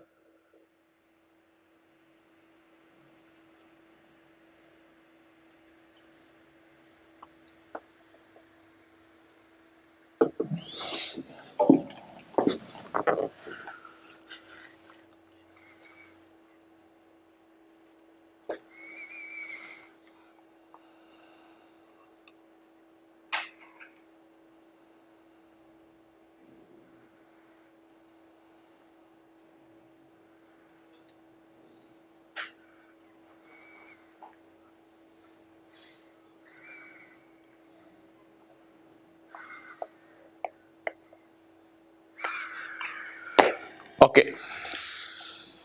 अच्छा जी, अब मुझे एक चीज़ बताएँ आप, कि अगर ऐसा सिनेरियो होता, जैसे पिछले सवालों में होता था, कि इधर रिटेन लॉस लूस या डेबिट बैलेंस ना लिखा होता। डेबिट बैलेंस का मतलब फिर लॉस है ना? डेबिट का मतलब आपको होता है लॉस होता है डेबिट लॉसेस के लिए यूज़ होता है। अगर इधर 6000 वैसे डेबिट बैलेंस ना होता, बल्कि 6000 की रिटेन अर्निंग ही होती तो फिर हम क्या करते? फिर हम बड़ा कॉन्फिडेंस से कहते प्लस छः प्लस बत्तीस पे चला गया।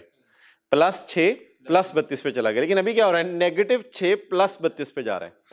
अगर प्लस छ प्लस बत्तीस पे जाता तो हम कहते हैं बत्तीस में से आ, बत्तीस में से छ है इधर और छ इधर है। लेकिन ये तब लिखते जब रिटेन्ड लॉस ना होता रिटेन और हम कहते बत्तीस में से छ पहले का कमा चुके थे?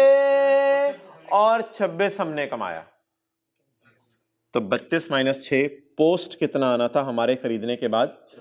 26 और 26 को फिर हमने दोनों में तकसीम कर देना था। लेकिन अभी तो 26 को दोनों में तकसीम नहीं करेंगे, वो तो कहेंगे हमने तो लॉसेस को प्रॉफिट्स में कन्वर्ट किया है।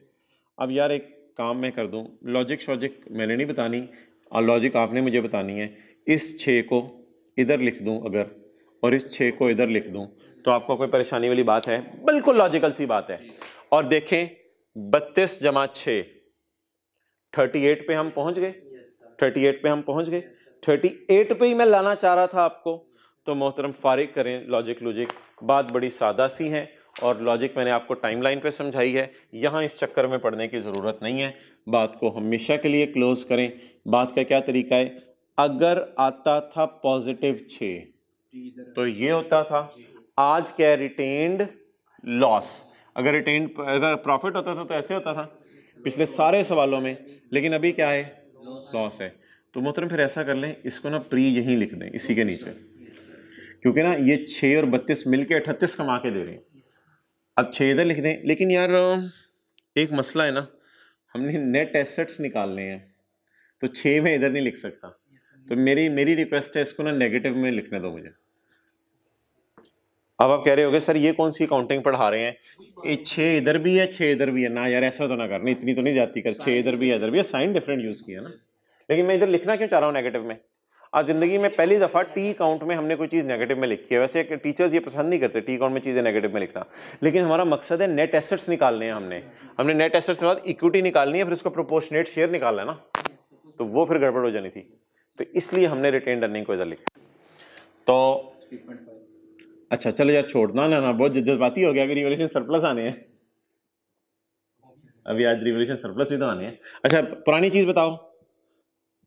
छः और छः होता था इस तरह? नई चीज़, उल्टा काम करें। छ और छ लेकिन बेहतर है। इस छ को रिटेन्ड लॉस के तौर पे लिखते हैं। रिटेन अर्निंग अकाउंट में लॉस आ रहा था। ना? चले आगे।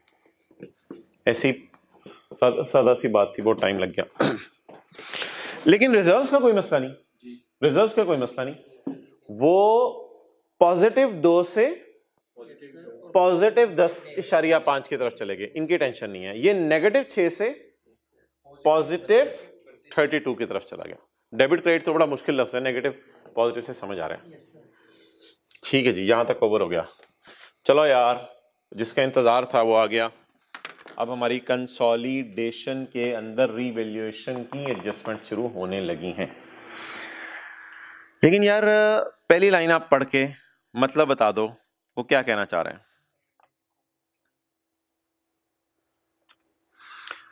On the acquisition date, the fair value of assets was equal to the book value except the following कहते हैं, इसका मतलब है उसकी बाकी सारी चीज़ें, कोई फर्नीचर पड़ा होगा, कोई कंप्यूटर पड़े होंगे, कोई जनरेटर पड़ा होगा, उनकी book value fair value same थी। लेकिन सब्सिडरी की बैलेंस शीट में चंद चीज़ों की फेयर वैल्यू में मसला था। अच्छा अब ना, इधर देखना यार, ये लाइन आपने नहीं पढ़नी, क्योंकि ये ना डिप्रिसिएशन के लिए है। ये लाइन डेप्रिसिएशन के लिए है तो ये आपने नहीं पढ़नी।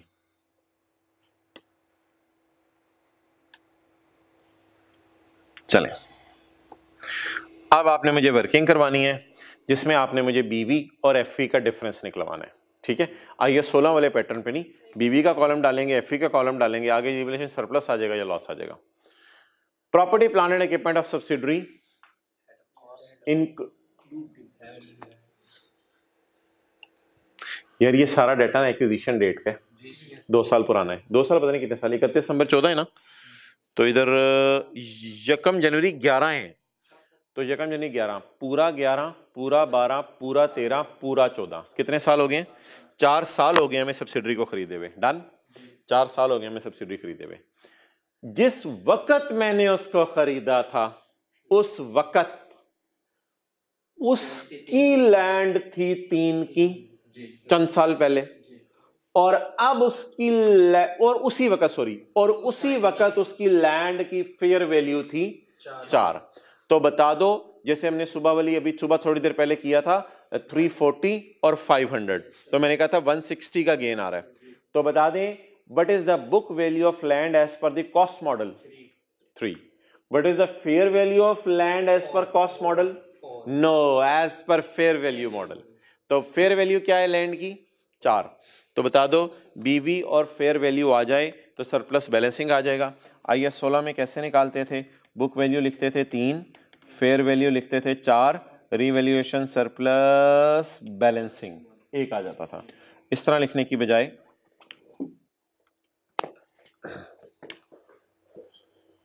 अच्छा ये ना जगह छोड़ देते हैं। वर्किंग नंबर फोर फोर के लिए।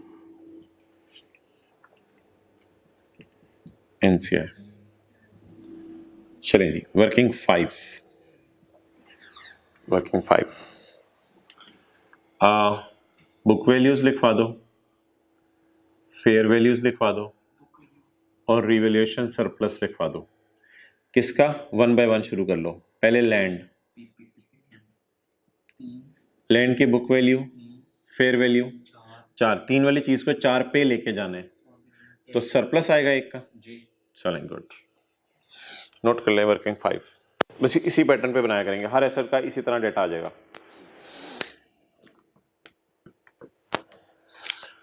जी। एक रुपए की एंट्री बोलो। Asset debit revaluation surplus credit अब ये जो मैं एंट्री कर रहा हूँ asset debit revaluation surplus credit ये आप मुझे बताओ ये इसकी किताबों में ऑलरेडी कॉस्ट मॉडल पे तो पड़ी हुई है ना? तो इसलिए इसकी किताबों में तो रिवल्यूशन मॉडल पे लानी पड़ेगी। तो सरप्लस से एंट्री किया करेंगे या मार्केट वैल्यू से? असल में उसकी किताबों में कॉस्ट मॉडल यूज़ हो रहा है। तो वो तो बुक वैल्यू पे पड़ी हुई है। तो हमारी एंट्री किससे हुआ करेगी? सरप्लस से हुआ करेगी। तो इस एक रुपए की आप मुझे जर्नल एंट्री साथ साथ लिखवाते नहीं बोले। एसेट डेबिट लैंड डेबिट और revaluation surplus in working one credit land debit revaluation surplus in working one credit इस एक रुपए से। ये मैं सात सौ जर्नल एंट्रीज कर रहा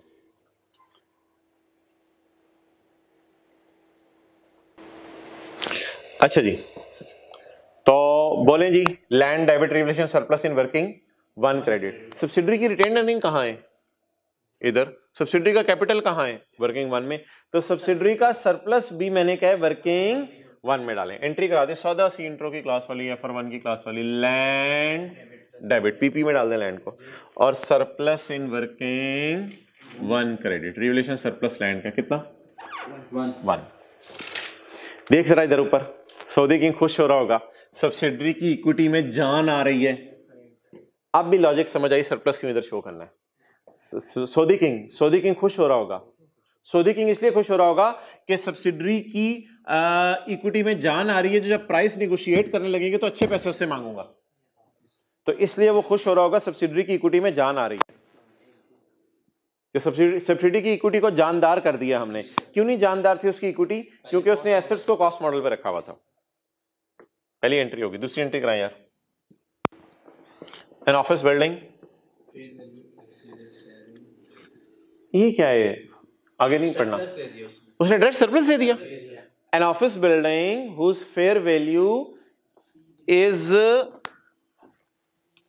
greater than book value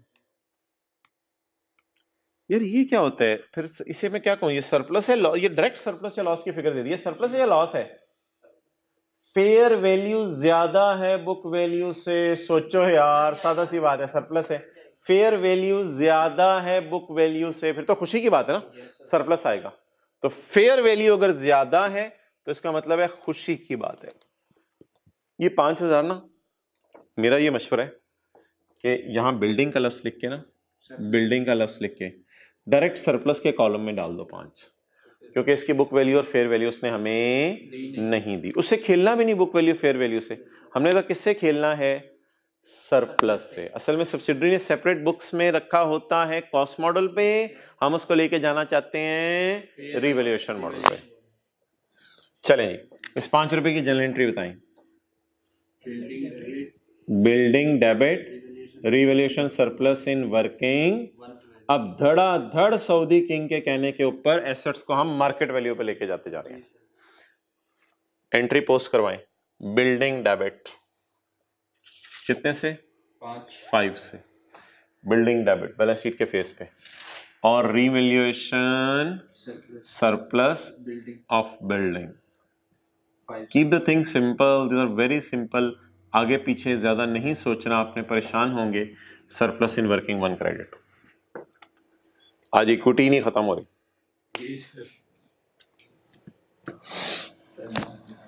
चलें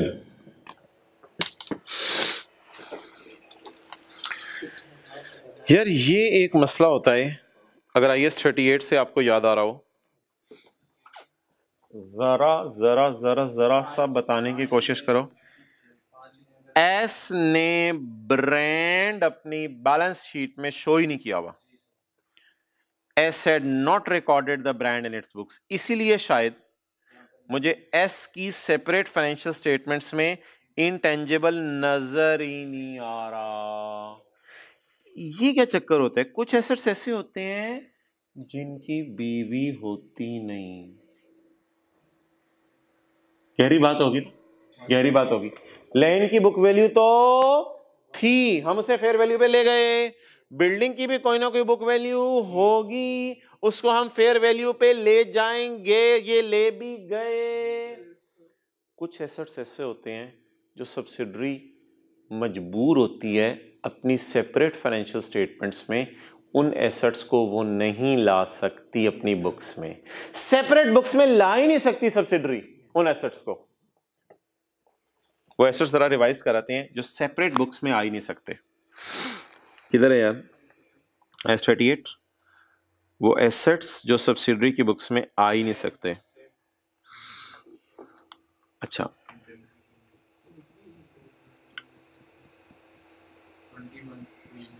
Page number twenty one. असल में ये तो वो पुराने नोट्स हैं ना तो इसमें वो फिर पेज नंबर कुछ और होंगे। बहरहाल समरी पे हम पहुँच जाते हैं। पेज नंबर अच्छा ट्वेंटी वन तो आप नोट्स का बता रहे हो ना? इस इस वक्त किताब का बताओ। वन नाइन्टी फाइव तो पेज वन नाइन्टी फाइव पे जी, पैरा नंबर सिक्सटी थ्री है। ये चीज़ें इंटेंजिबल्स के तौर पे आपने शो नहीं करनी। इंटरनली जनरेटेड ब्रांड या आपने बैलेंस शीट के तौर पे शो नहीं करना। लेकिन ये बातें सेपरेट फाइनेंशियल स्टेटमेंट की हद तक थी।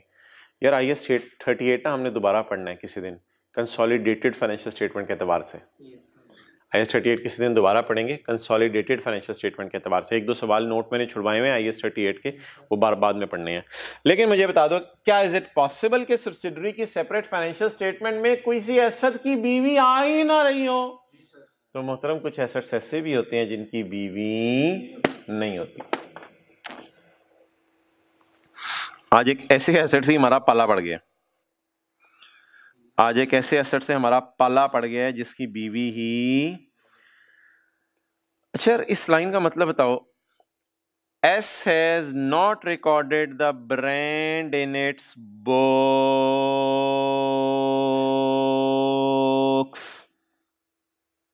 ये मतलब है ना लाइन का यही मतलब है। हंड्रेड परसेंट यही मतलब है। आपने ये नहीं कहना सर बीवी मिसिंग है। बीवी सवाल वाजे बता रहा है ज़ीरो है। क्यों ज़ीरो है?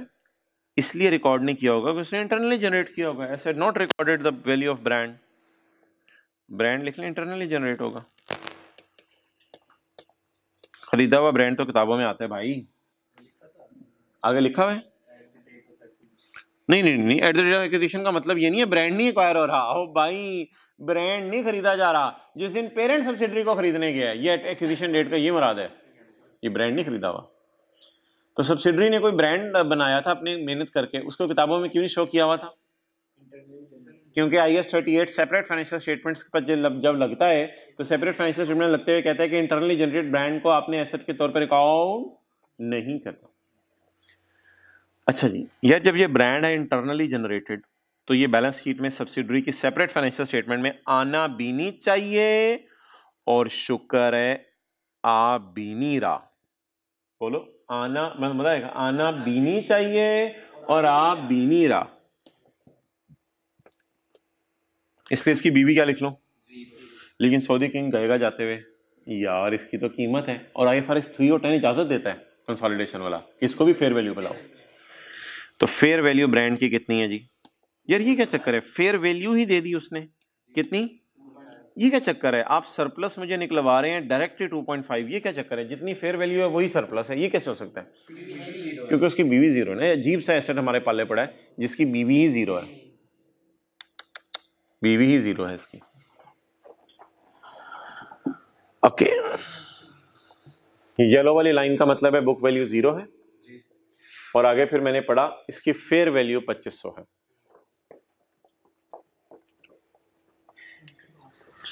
चलें जी, इसको भी साथ ही लिख लें यहाँ। ब्रांड वर्किंग फाइव में ही सारी चीज़ें फारिग हो जाए।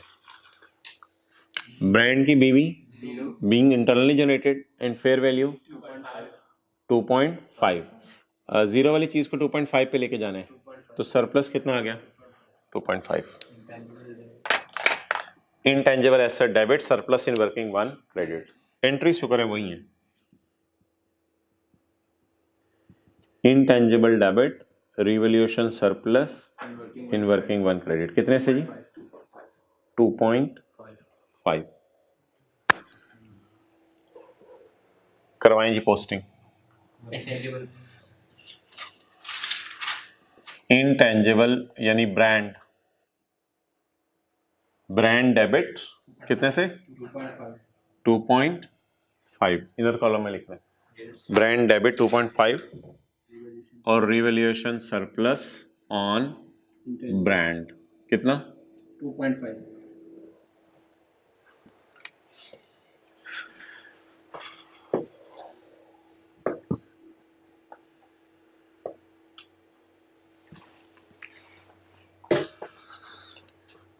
चलिए जी।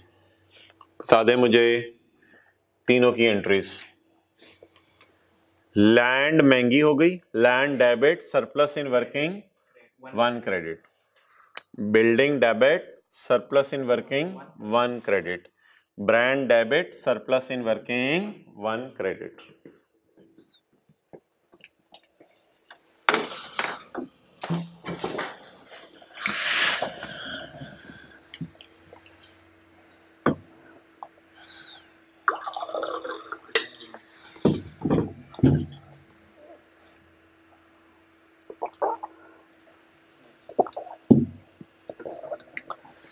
अच्छा जी now we will move towards the चले यहाँ पे आपने खड़े हुए गुडविल शुडविल निकालनी है सारी चीज़ें करनी है कर लें। अ,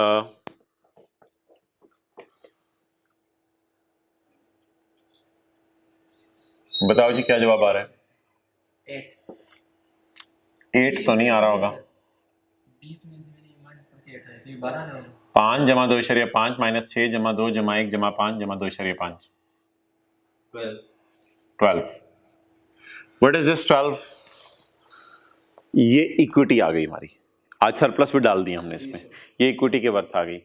क्या मैंने बारह वाली चीज़ बीस में खरीदी? ना ना ना ना बारह वाली चीज़ का तीस परसेंट नहीं खरीदा।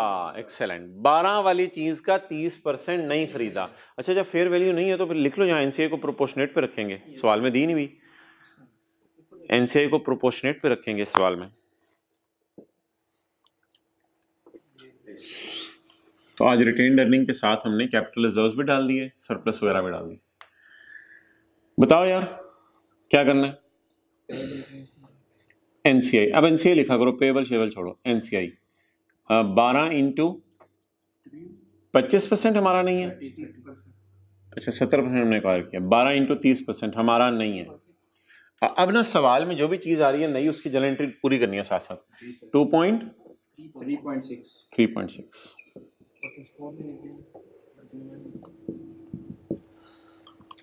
three point six next जी। गुडविल निकालनी है बैलेंसिंग गुडविल निकालो balancing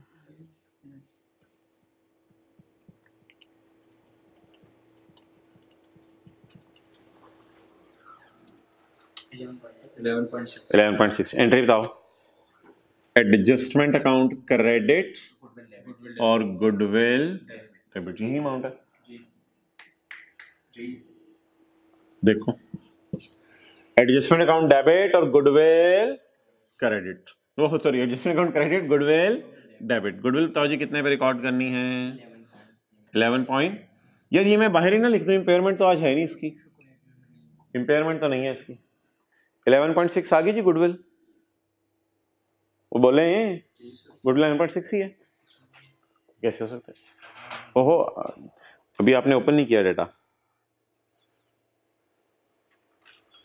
डेटा ओपन करो ना। नहीं नहीं इसका सोल्यूशन नहीं है। ये देखो।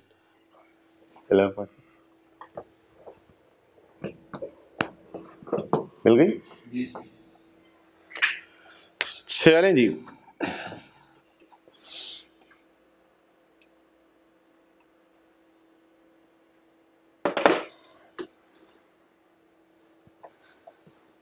डन यस अगली चीज़ जी आखिरी आज की डिप्रीसिएशन अभी तो यार खुला टाइम है हमारा, बीस पच्चीस मिनट चलो डेप्सिएशन रिकॉर्ड करो फारक करें फिर। डेप्रिसिएशन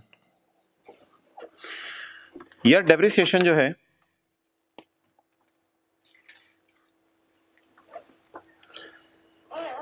कितने साल की निकालनी है ये अलग बात है, और एसेट की लाइफ के ये अलग बात है।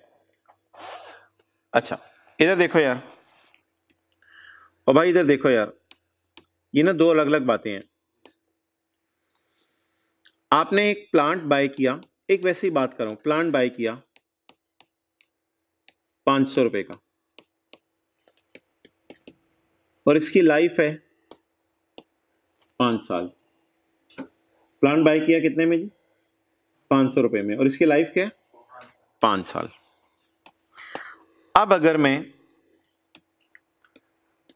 एक साल दो साल, तीन साल, चार साल, पाँच साल।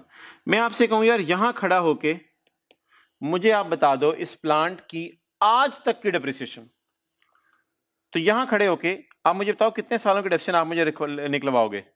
दो सालों की। जरा कैसे निकलवाओगे? अगर मैं 500 को डिवाइड करूँगा, पाँच से तो ये तो एक साल की डेप्शन देगा। तो दो से मल्टीप्लाई कर दूँगा तो दो सालों की डेप्शन आ जाएगी। क्या जवाब आ गया? 200 तो इसका मतलब है यहाँ खड़े होकर कम डेप्शन कितनी है? 200 और शायद 500 का प्लांट है ना तो 100 सौ रुपये हर साल डेप्शीट होना है। सो, सौ सौ सौ सौ। चालू उठ। अच्छा जी क्लियर तो मैंने आपसे सवाल अभी पूछे बड़ा जानदार सवाल है और बड़ा शानदार सवाल है और बड़ा ज़बरदस्त सवाल है। दोबारा मुझे इसका जवाब देना है। एक एसेट की कॉस्ट है 500 लाइफ है पाँच साल। मैं खड़ा हूँ दूसरे साल के एंड पे। मेरा प्रोग्राम था, मैं इस ये, मैं खड़ा हूँ दूसरे साल के एंड पे। मैंने कहा, यार, मुझे बताओ, इस प्लांट की अकमुलेटिव कितनी है? आप कहेंगे, सर, एक साल की अकमुलेटिव निकलती है पाँच से डिवाइड करके। लेकिन मुझे चाहिए दो सालों की। डेट ऑफ़ परचेज से मेरे खड़े होने की तारीख तक कितने साल गुजर चुके हैं? दो साल क्लियर यार, अब ना, इसी तरह इधर भी करना है। मुझे बताओ एक्यूजिशन डेट से कंसोलिडेशन डेट तक कितने साल दरमियान में आ रहे हैं? चार साल। क्लियर तो मैं आपसे कितने साल की डेप्रिसिएशन मांगी थी? दो साल की? नीचे वाले डेटे में ऐसे ही। मैंने आपसे कितने साल की डेप्रिसिएशन मांगी थी? दो साल की। अच्छा इधर मुझे कितने साल की चाहिए? चार साल की मुझे चाहिए। मेरे डेटे के मुताबिक मुझे चार साल की डेप्रिसिएशन चाहिए। ओके। अब जी हमारी ये बहस हुई थी सुबह सुबह कि डेप्रिशिएट किसको करना है? डेप्रिशिएट मुझे बताएँ आपने किसको करना है? डेप्रिशिएट आपने सरप्लस को करना है या मार्केट वैल्यू को करना है? मोहतरम डेप्रिशिएट सरप्लस को करना है। लॉजिक याद रखो। बुक वैल्यूज़ यानी कॉस्ट मॉडल वाली वैल्यूज़ को कौन डेप्रिशिएट कर रहा होगा? सब्सिडरी सेपरेट फाइनेंशियल स्टेटमेंट में।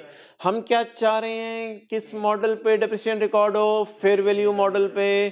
तो इसका मतलब है, हम ये चाह रहे हैं कि हम सरप्लस को डेप्रिशिएट कर दें। अच्छा अब एक बात बताओ डेप्सियन रिकॉर्ड करनी है या कम करनी है? ओ सर इसका आसान सा सवाल जवाब है एसेट बढ़ तो डेप्सियन बढ़ेगी। बस, इसका आसान सा जवाब है एसेट बढ़ रहा तो डेप्सियन बढ़ेगी। एसेट महँगा हो रहा है तो डेप्सियन बढ़ेगी। एसेट बढ़ रहा है तो डेप्रिसिएशन बढ़ेगी। तो डेप्रिसिएशन अब मैं इनके बढ़ाने लगा end date is working may be you can say it 5.1 और एनी वन यू कैन से अच्छा डेप्सियन निकालें जी। डेप्सियन सबसे पहले किसकी निकाल लो जी? बिल्डिंग की। लैंड की डेप्सियन तो नहीं आएगी बिल्डिंग की निकालें सबसे पहले। यार बिल्डिंग की लाइफ कितनी है? रिमेनिंग लाइफ जिस दिन हमने जिस दिन हमने सब्सिडरी को खरीदा था, उस दिन खड़े होकर बिल्डिंग ने क्या कहा था? बाकी कितने साल मेरे साथ रहेगी? रिमेनिंग कितने साल मेरे साथ रहेगी? बीस साल, इधर देखें। सरप्लस को पकड़ें और 20 से डिवाइड करें, लेकिन ये फैक्टर आपको देगा एक साल की डेप्रिसिएशन वो जो मिसाल मैंने छोटी सी कराई थी, वो याद है अभी? वो वो मिसाल अगर नहीं होगी तो ये मसला होगा आपको। सर, ये क्या कर रहे हैं आप? आपको समझ नहीं आ रही होगी। वो वो 500 वाला प्लांट कितने सालों में खत्म होना था? पाँच सालों में। इस सरप्लस ने कितने सालों में खत्म होने हैं? बीस सालों में। लेकिन कंसोलिडेशन हम बीसवें साल के एंड पे तो नहीं कर रहे, खड़े होके। कंसोलिडेशन तो हम चौथे साल के एंड पे खड़े होके कर रहे हैं। तो पाँच डिवाइडेड बाय बीस मल्टीप्लाइड बाय फोर जैसे किया था, पाँच सौ डिवाइडेड बाय पाँच मल्टीप्लाइड बाय दो साल। अभी किया था। तो डिवाइड किससे करने लाइफ से। जैसे, लेकिन डिवाइड मार्केट वैल्यू को नहीं करना, मेरे से ज़्यादा सरप्लस को करना है। सरप्लस को डिवाइड किससे करें? लाइफ से। Surplus divide by life multiplied by acquisition date और कंसोलिडेशन डेट ये बहस हो गई थी कि डेप्रिसिएशन रिकॉर्ड 20 साल की करनी है या चार चार साल की करनी है रिकॉर्ड 20 साल तो एसेट की लाइफ है ना? ये बहस आपसे कहाँ हुई थी? ये मैं आपको दिखा दूँ।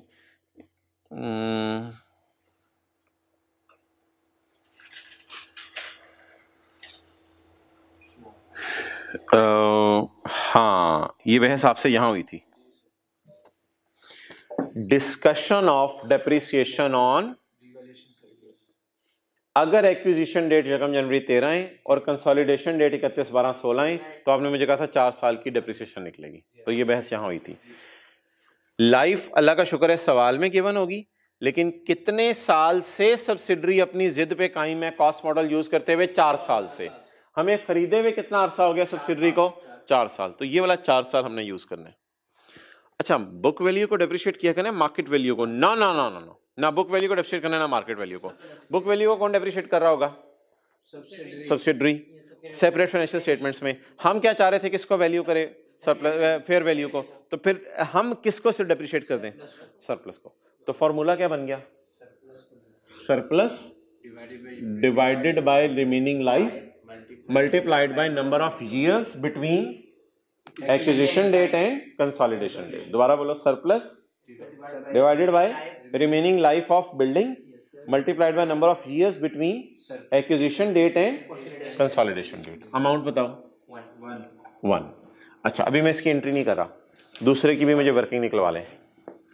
वर्किंग फाइव पॉइंट वन ही जाने दें, खैर है। कि कौन, दूसरा कौन सा एसेट है जी? इनटेंजेबल है या ब्रांड है? अच्छा इसका सरप्लस कितना है यार? टू पॉइंट फाइव अच्छा इस एसेट ने कितने सालों में खत्म हो जाने? ये ना सवाल से जरा देखें। इस एसेट की लाइफ कितनी रहेगी है बकाया? इस एसेट की बकाया लाइफ रहेगी है पाँच साल।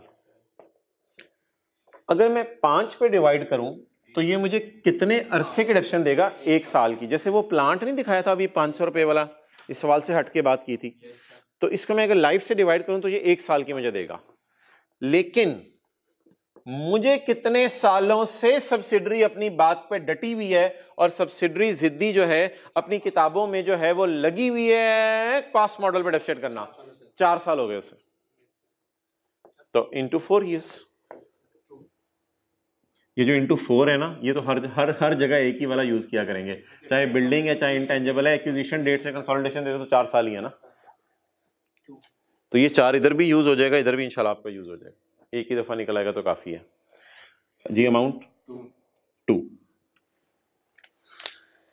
यार एसेट बढ़ता है तो डेप्रिसिएशन बढ़ती है। एसेट महँगा होता है तो डेप्रिसिएशन बढ़ती है। डेप्रिसिएशन बढ़ने की एंट्री बताओ। डेप्रिसिएशन डेबिट अकमलेशन क्रेडिट ये इस तरह लिख लेते हैं ना। डेप्रिसिएशन डेबिट और एसेट क्रेडिट बोलो बोलो। डेप्रिसिएशन डेबिट एसेट क्रेडिट और इधर अमोटाइजेशन डेबिट और इनटेंजेबल क्रेडिट या ब्रांड क्रेडिट अमोटाइजेशन डेबिट और ब्रांड क्रेडिट कितने रुपए से? दो रुपए से और ये वाली एक रुपए से। चलो जी जनरल एंट्री लिखो।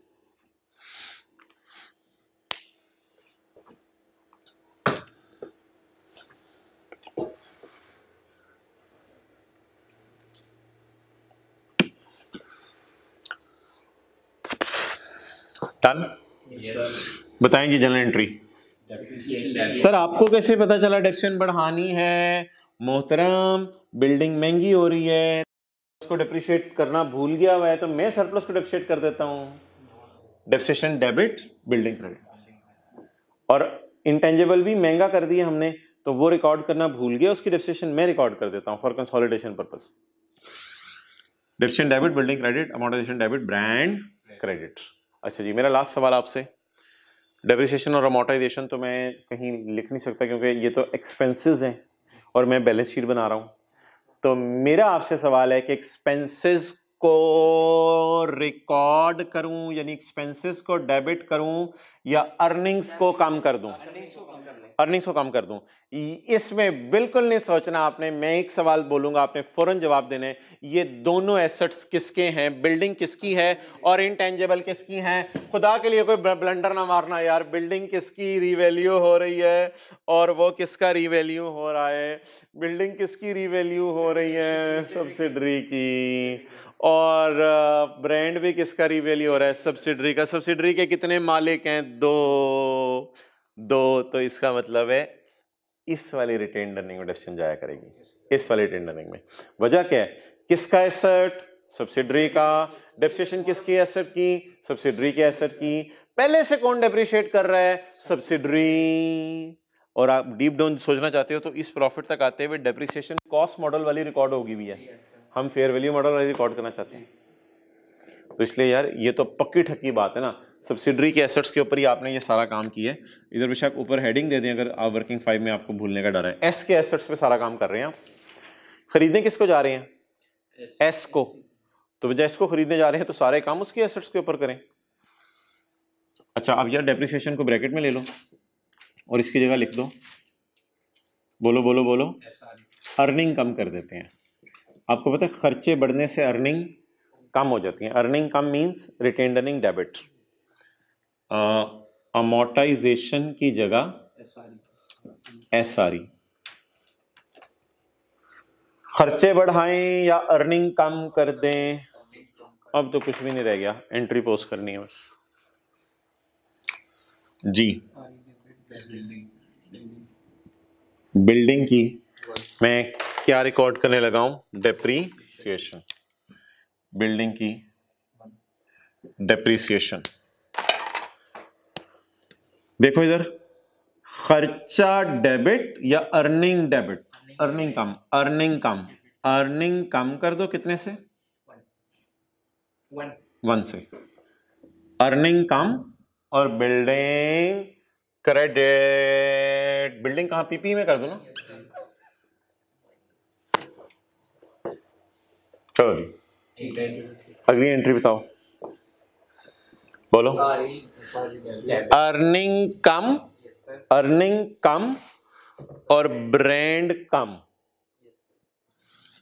अर्निंग कम यानी ब्रांड की अमोटाइजेशन अर्निंग कम कितने से?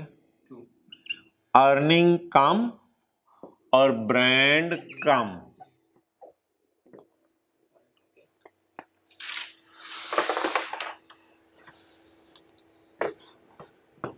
चलें।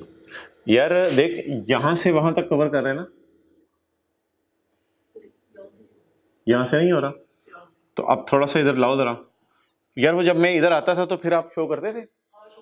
फिर शो करते थे? देख ले पक्की बात। चले माजरत भाई, अगर आप लोगों को शो नहीं हो रहा था शो अब कर देते हैं। देखें, खर्चा रिकॉर्ड करने से अर्निंग अर्निंग कम बिल्डिंग कम। शो हो रहा था अब ये? अर्निंग कम बिल्डिंग कम। सरप्लस का डेप्रिशिएट भी तो करना ना। अर्न खर्चा बढ़ने से अर्निंग कम हो जाती है। अर्निंग कम ब्रांड कम। अर्निंग कम ब्रांड कम। कम कम कम। ओके ओके अच्छा जी। डन यार। कितना टाइम रह गया? है ओए दस मिनट पड़े हैं। चलो मज़े मज़े से मुझे कराओ फिर। टोटल्स करवाओ सारे अकाउंट्स के। सवाल में एडजस्टमेंट्स ख़त्म हो गई। टोटल करो। हाँ ठीक है। नहीं टाइम मिलेगा। हा हा। मोहतराम। जो सलूक एस के साथ करना वही सलूक my dear S capital reserve के साथ मिलता जुलता कर लेना। ठीक है जी? अच्छा। यार ये सब्सिडरी की अर्निंग्स किसको बांट दें? न्यू ओनर्स को दे दें या ओल्ड ओनर्स को? सब्सिडरी की अर्निंग्स किसको बांट दें? मैंने आपको क्या कहा था? जो बफलो का दूध है वो बफलो को तो नहीं देना। बफलो के मालिक की, की, मर्ज़ी है कि जहाँ इस्तेमाल करें। तो सब्सिडरी की अर्निंग इमरान खान को भी दे दें और सब्सिडरी की अर्निंग पीटीसीएल को भी दे दें। ये तो बीच में एक नई चीज़ कोई आ गई आज। सब्सिडरी जो फोल्डिंग डाल के नहीं बैठ जाती फोल्डिंग सीट में सब्सिडरी की अर्निंग अभी बीच में इसको भी पानी पिलाना पड़ेगा। ठीक है? वरना वो पेप्सी जो इधर पिलाते थे इधर पिलाते थे। तो सब्सिडरी की अर्निंग इमरान खान को भी दे दें और सब्सिडरी की अर्निंग और action speak louder than words यहाँ दो फिगर आएँगी बांटने वाली। ये दोनों ऐसे जाएँगी। डन सी आर ई और एन सी आई आई बोले आई बत्तीस जमा छः, अठतीस अठतीस माइनस तीन। पैंतीस, ज़रब। ज़रब सत्तर परसेंट, अस्सी परसेंट। सत्तर। परसेंट। कितना आ गया?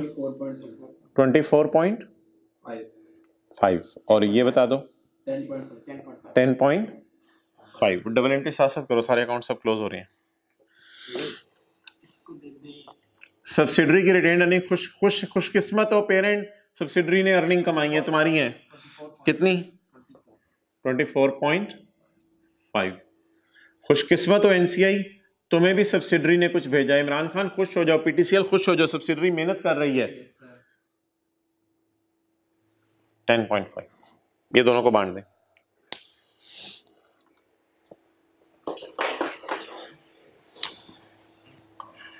थोड़ा सा अटेंटिव बने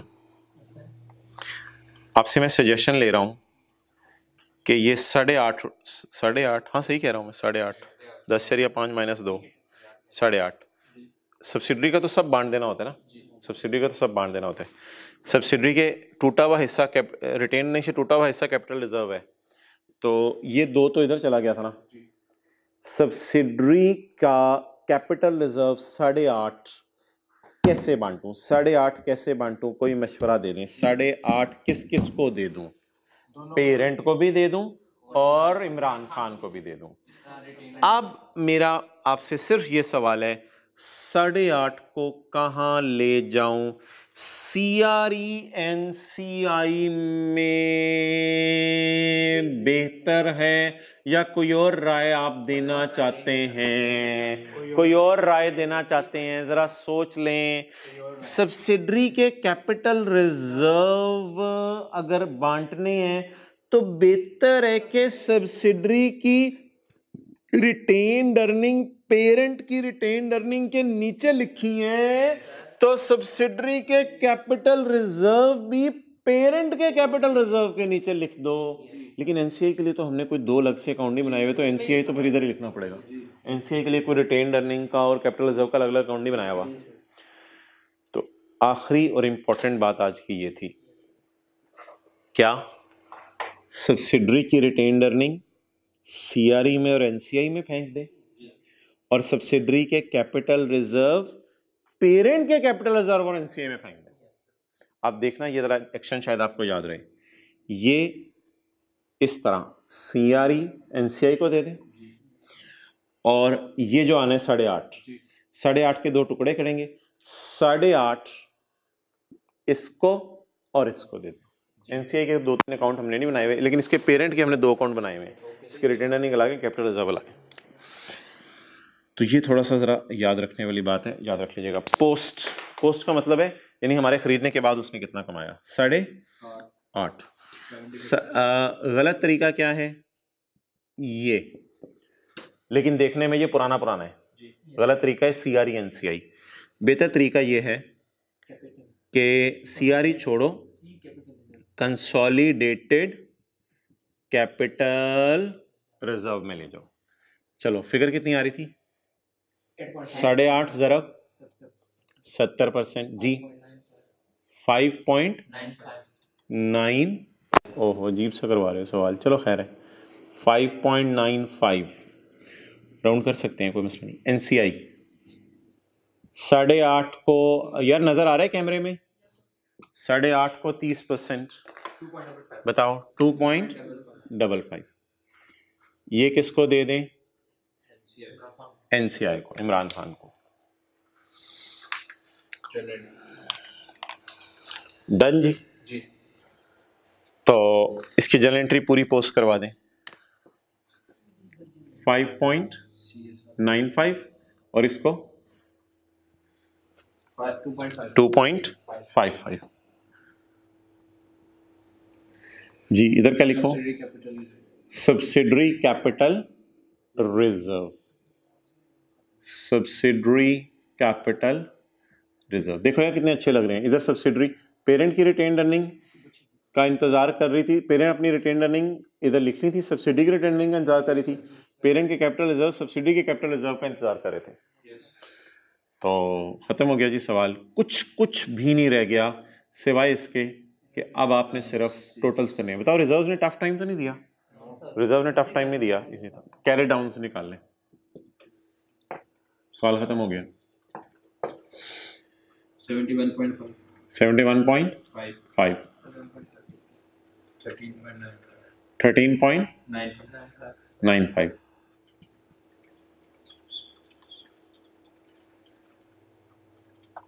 Sixteen point six five sixteen point six five. Six five अच्छा तीनों को यार एक दफ़ा ले आओ जरा। देखना इधर। C R E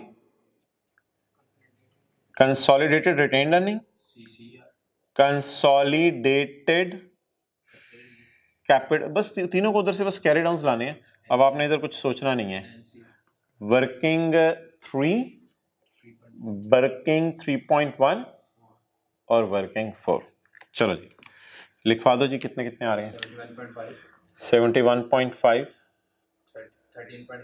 thirteen point nine five sixteen point six five और ये कितना था? पंद्रह जमा? क्रेडिटर तीस? पंद्रह जमा थर्टी एट कितना हो गया? फिफ्टी थ्री ये कितना? है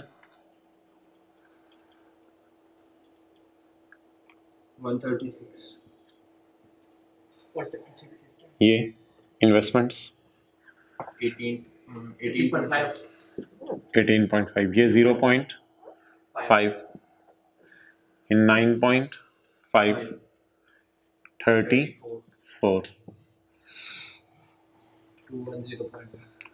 two one zero point one इसका grand total two zero point one ना मरवा मरवा देगा यार।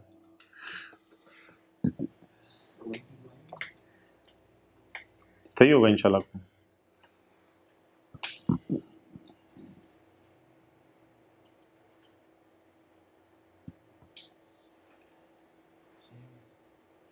ठीक ठीक है बताओ टोटल आप भी रिटर्न कर लो। इसका कर लिया आपने? फिफ्टी प्लस फाइव प्लस आपने कर लिए अच्छा मैंने कहा आप शायद ऐसे देख रहे थे कुछ चेंज करवानी आपने।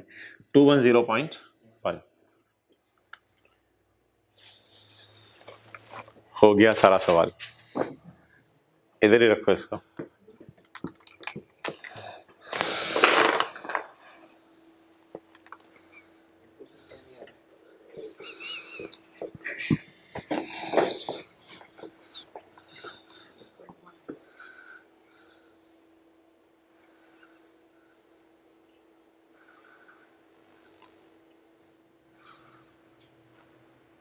गुड अच्छा यार जाते जाते।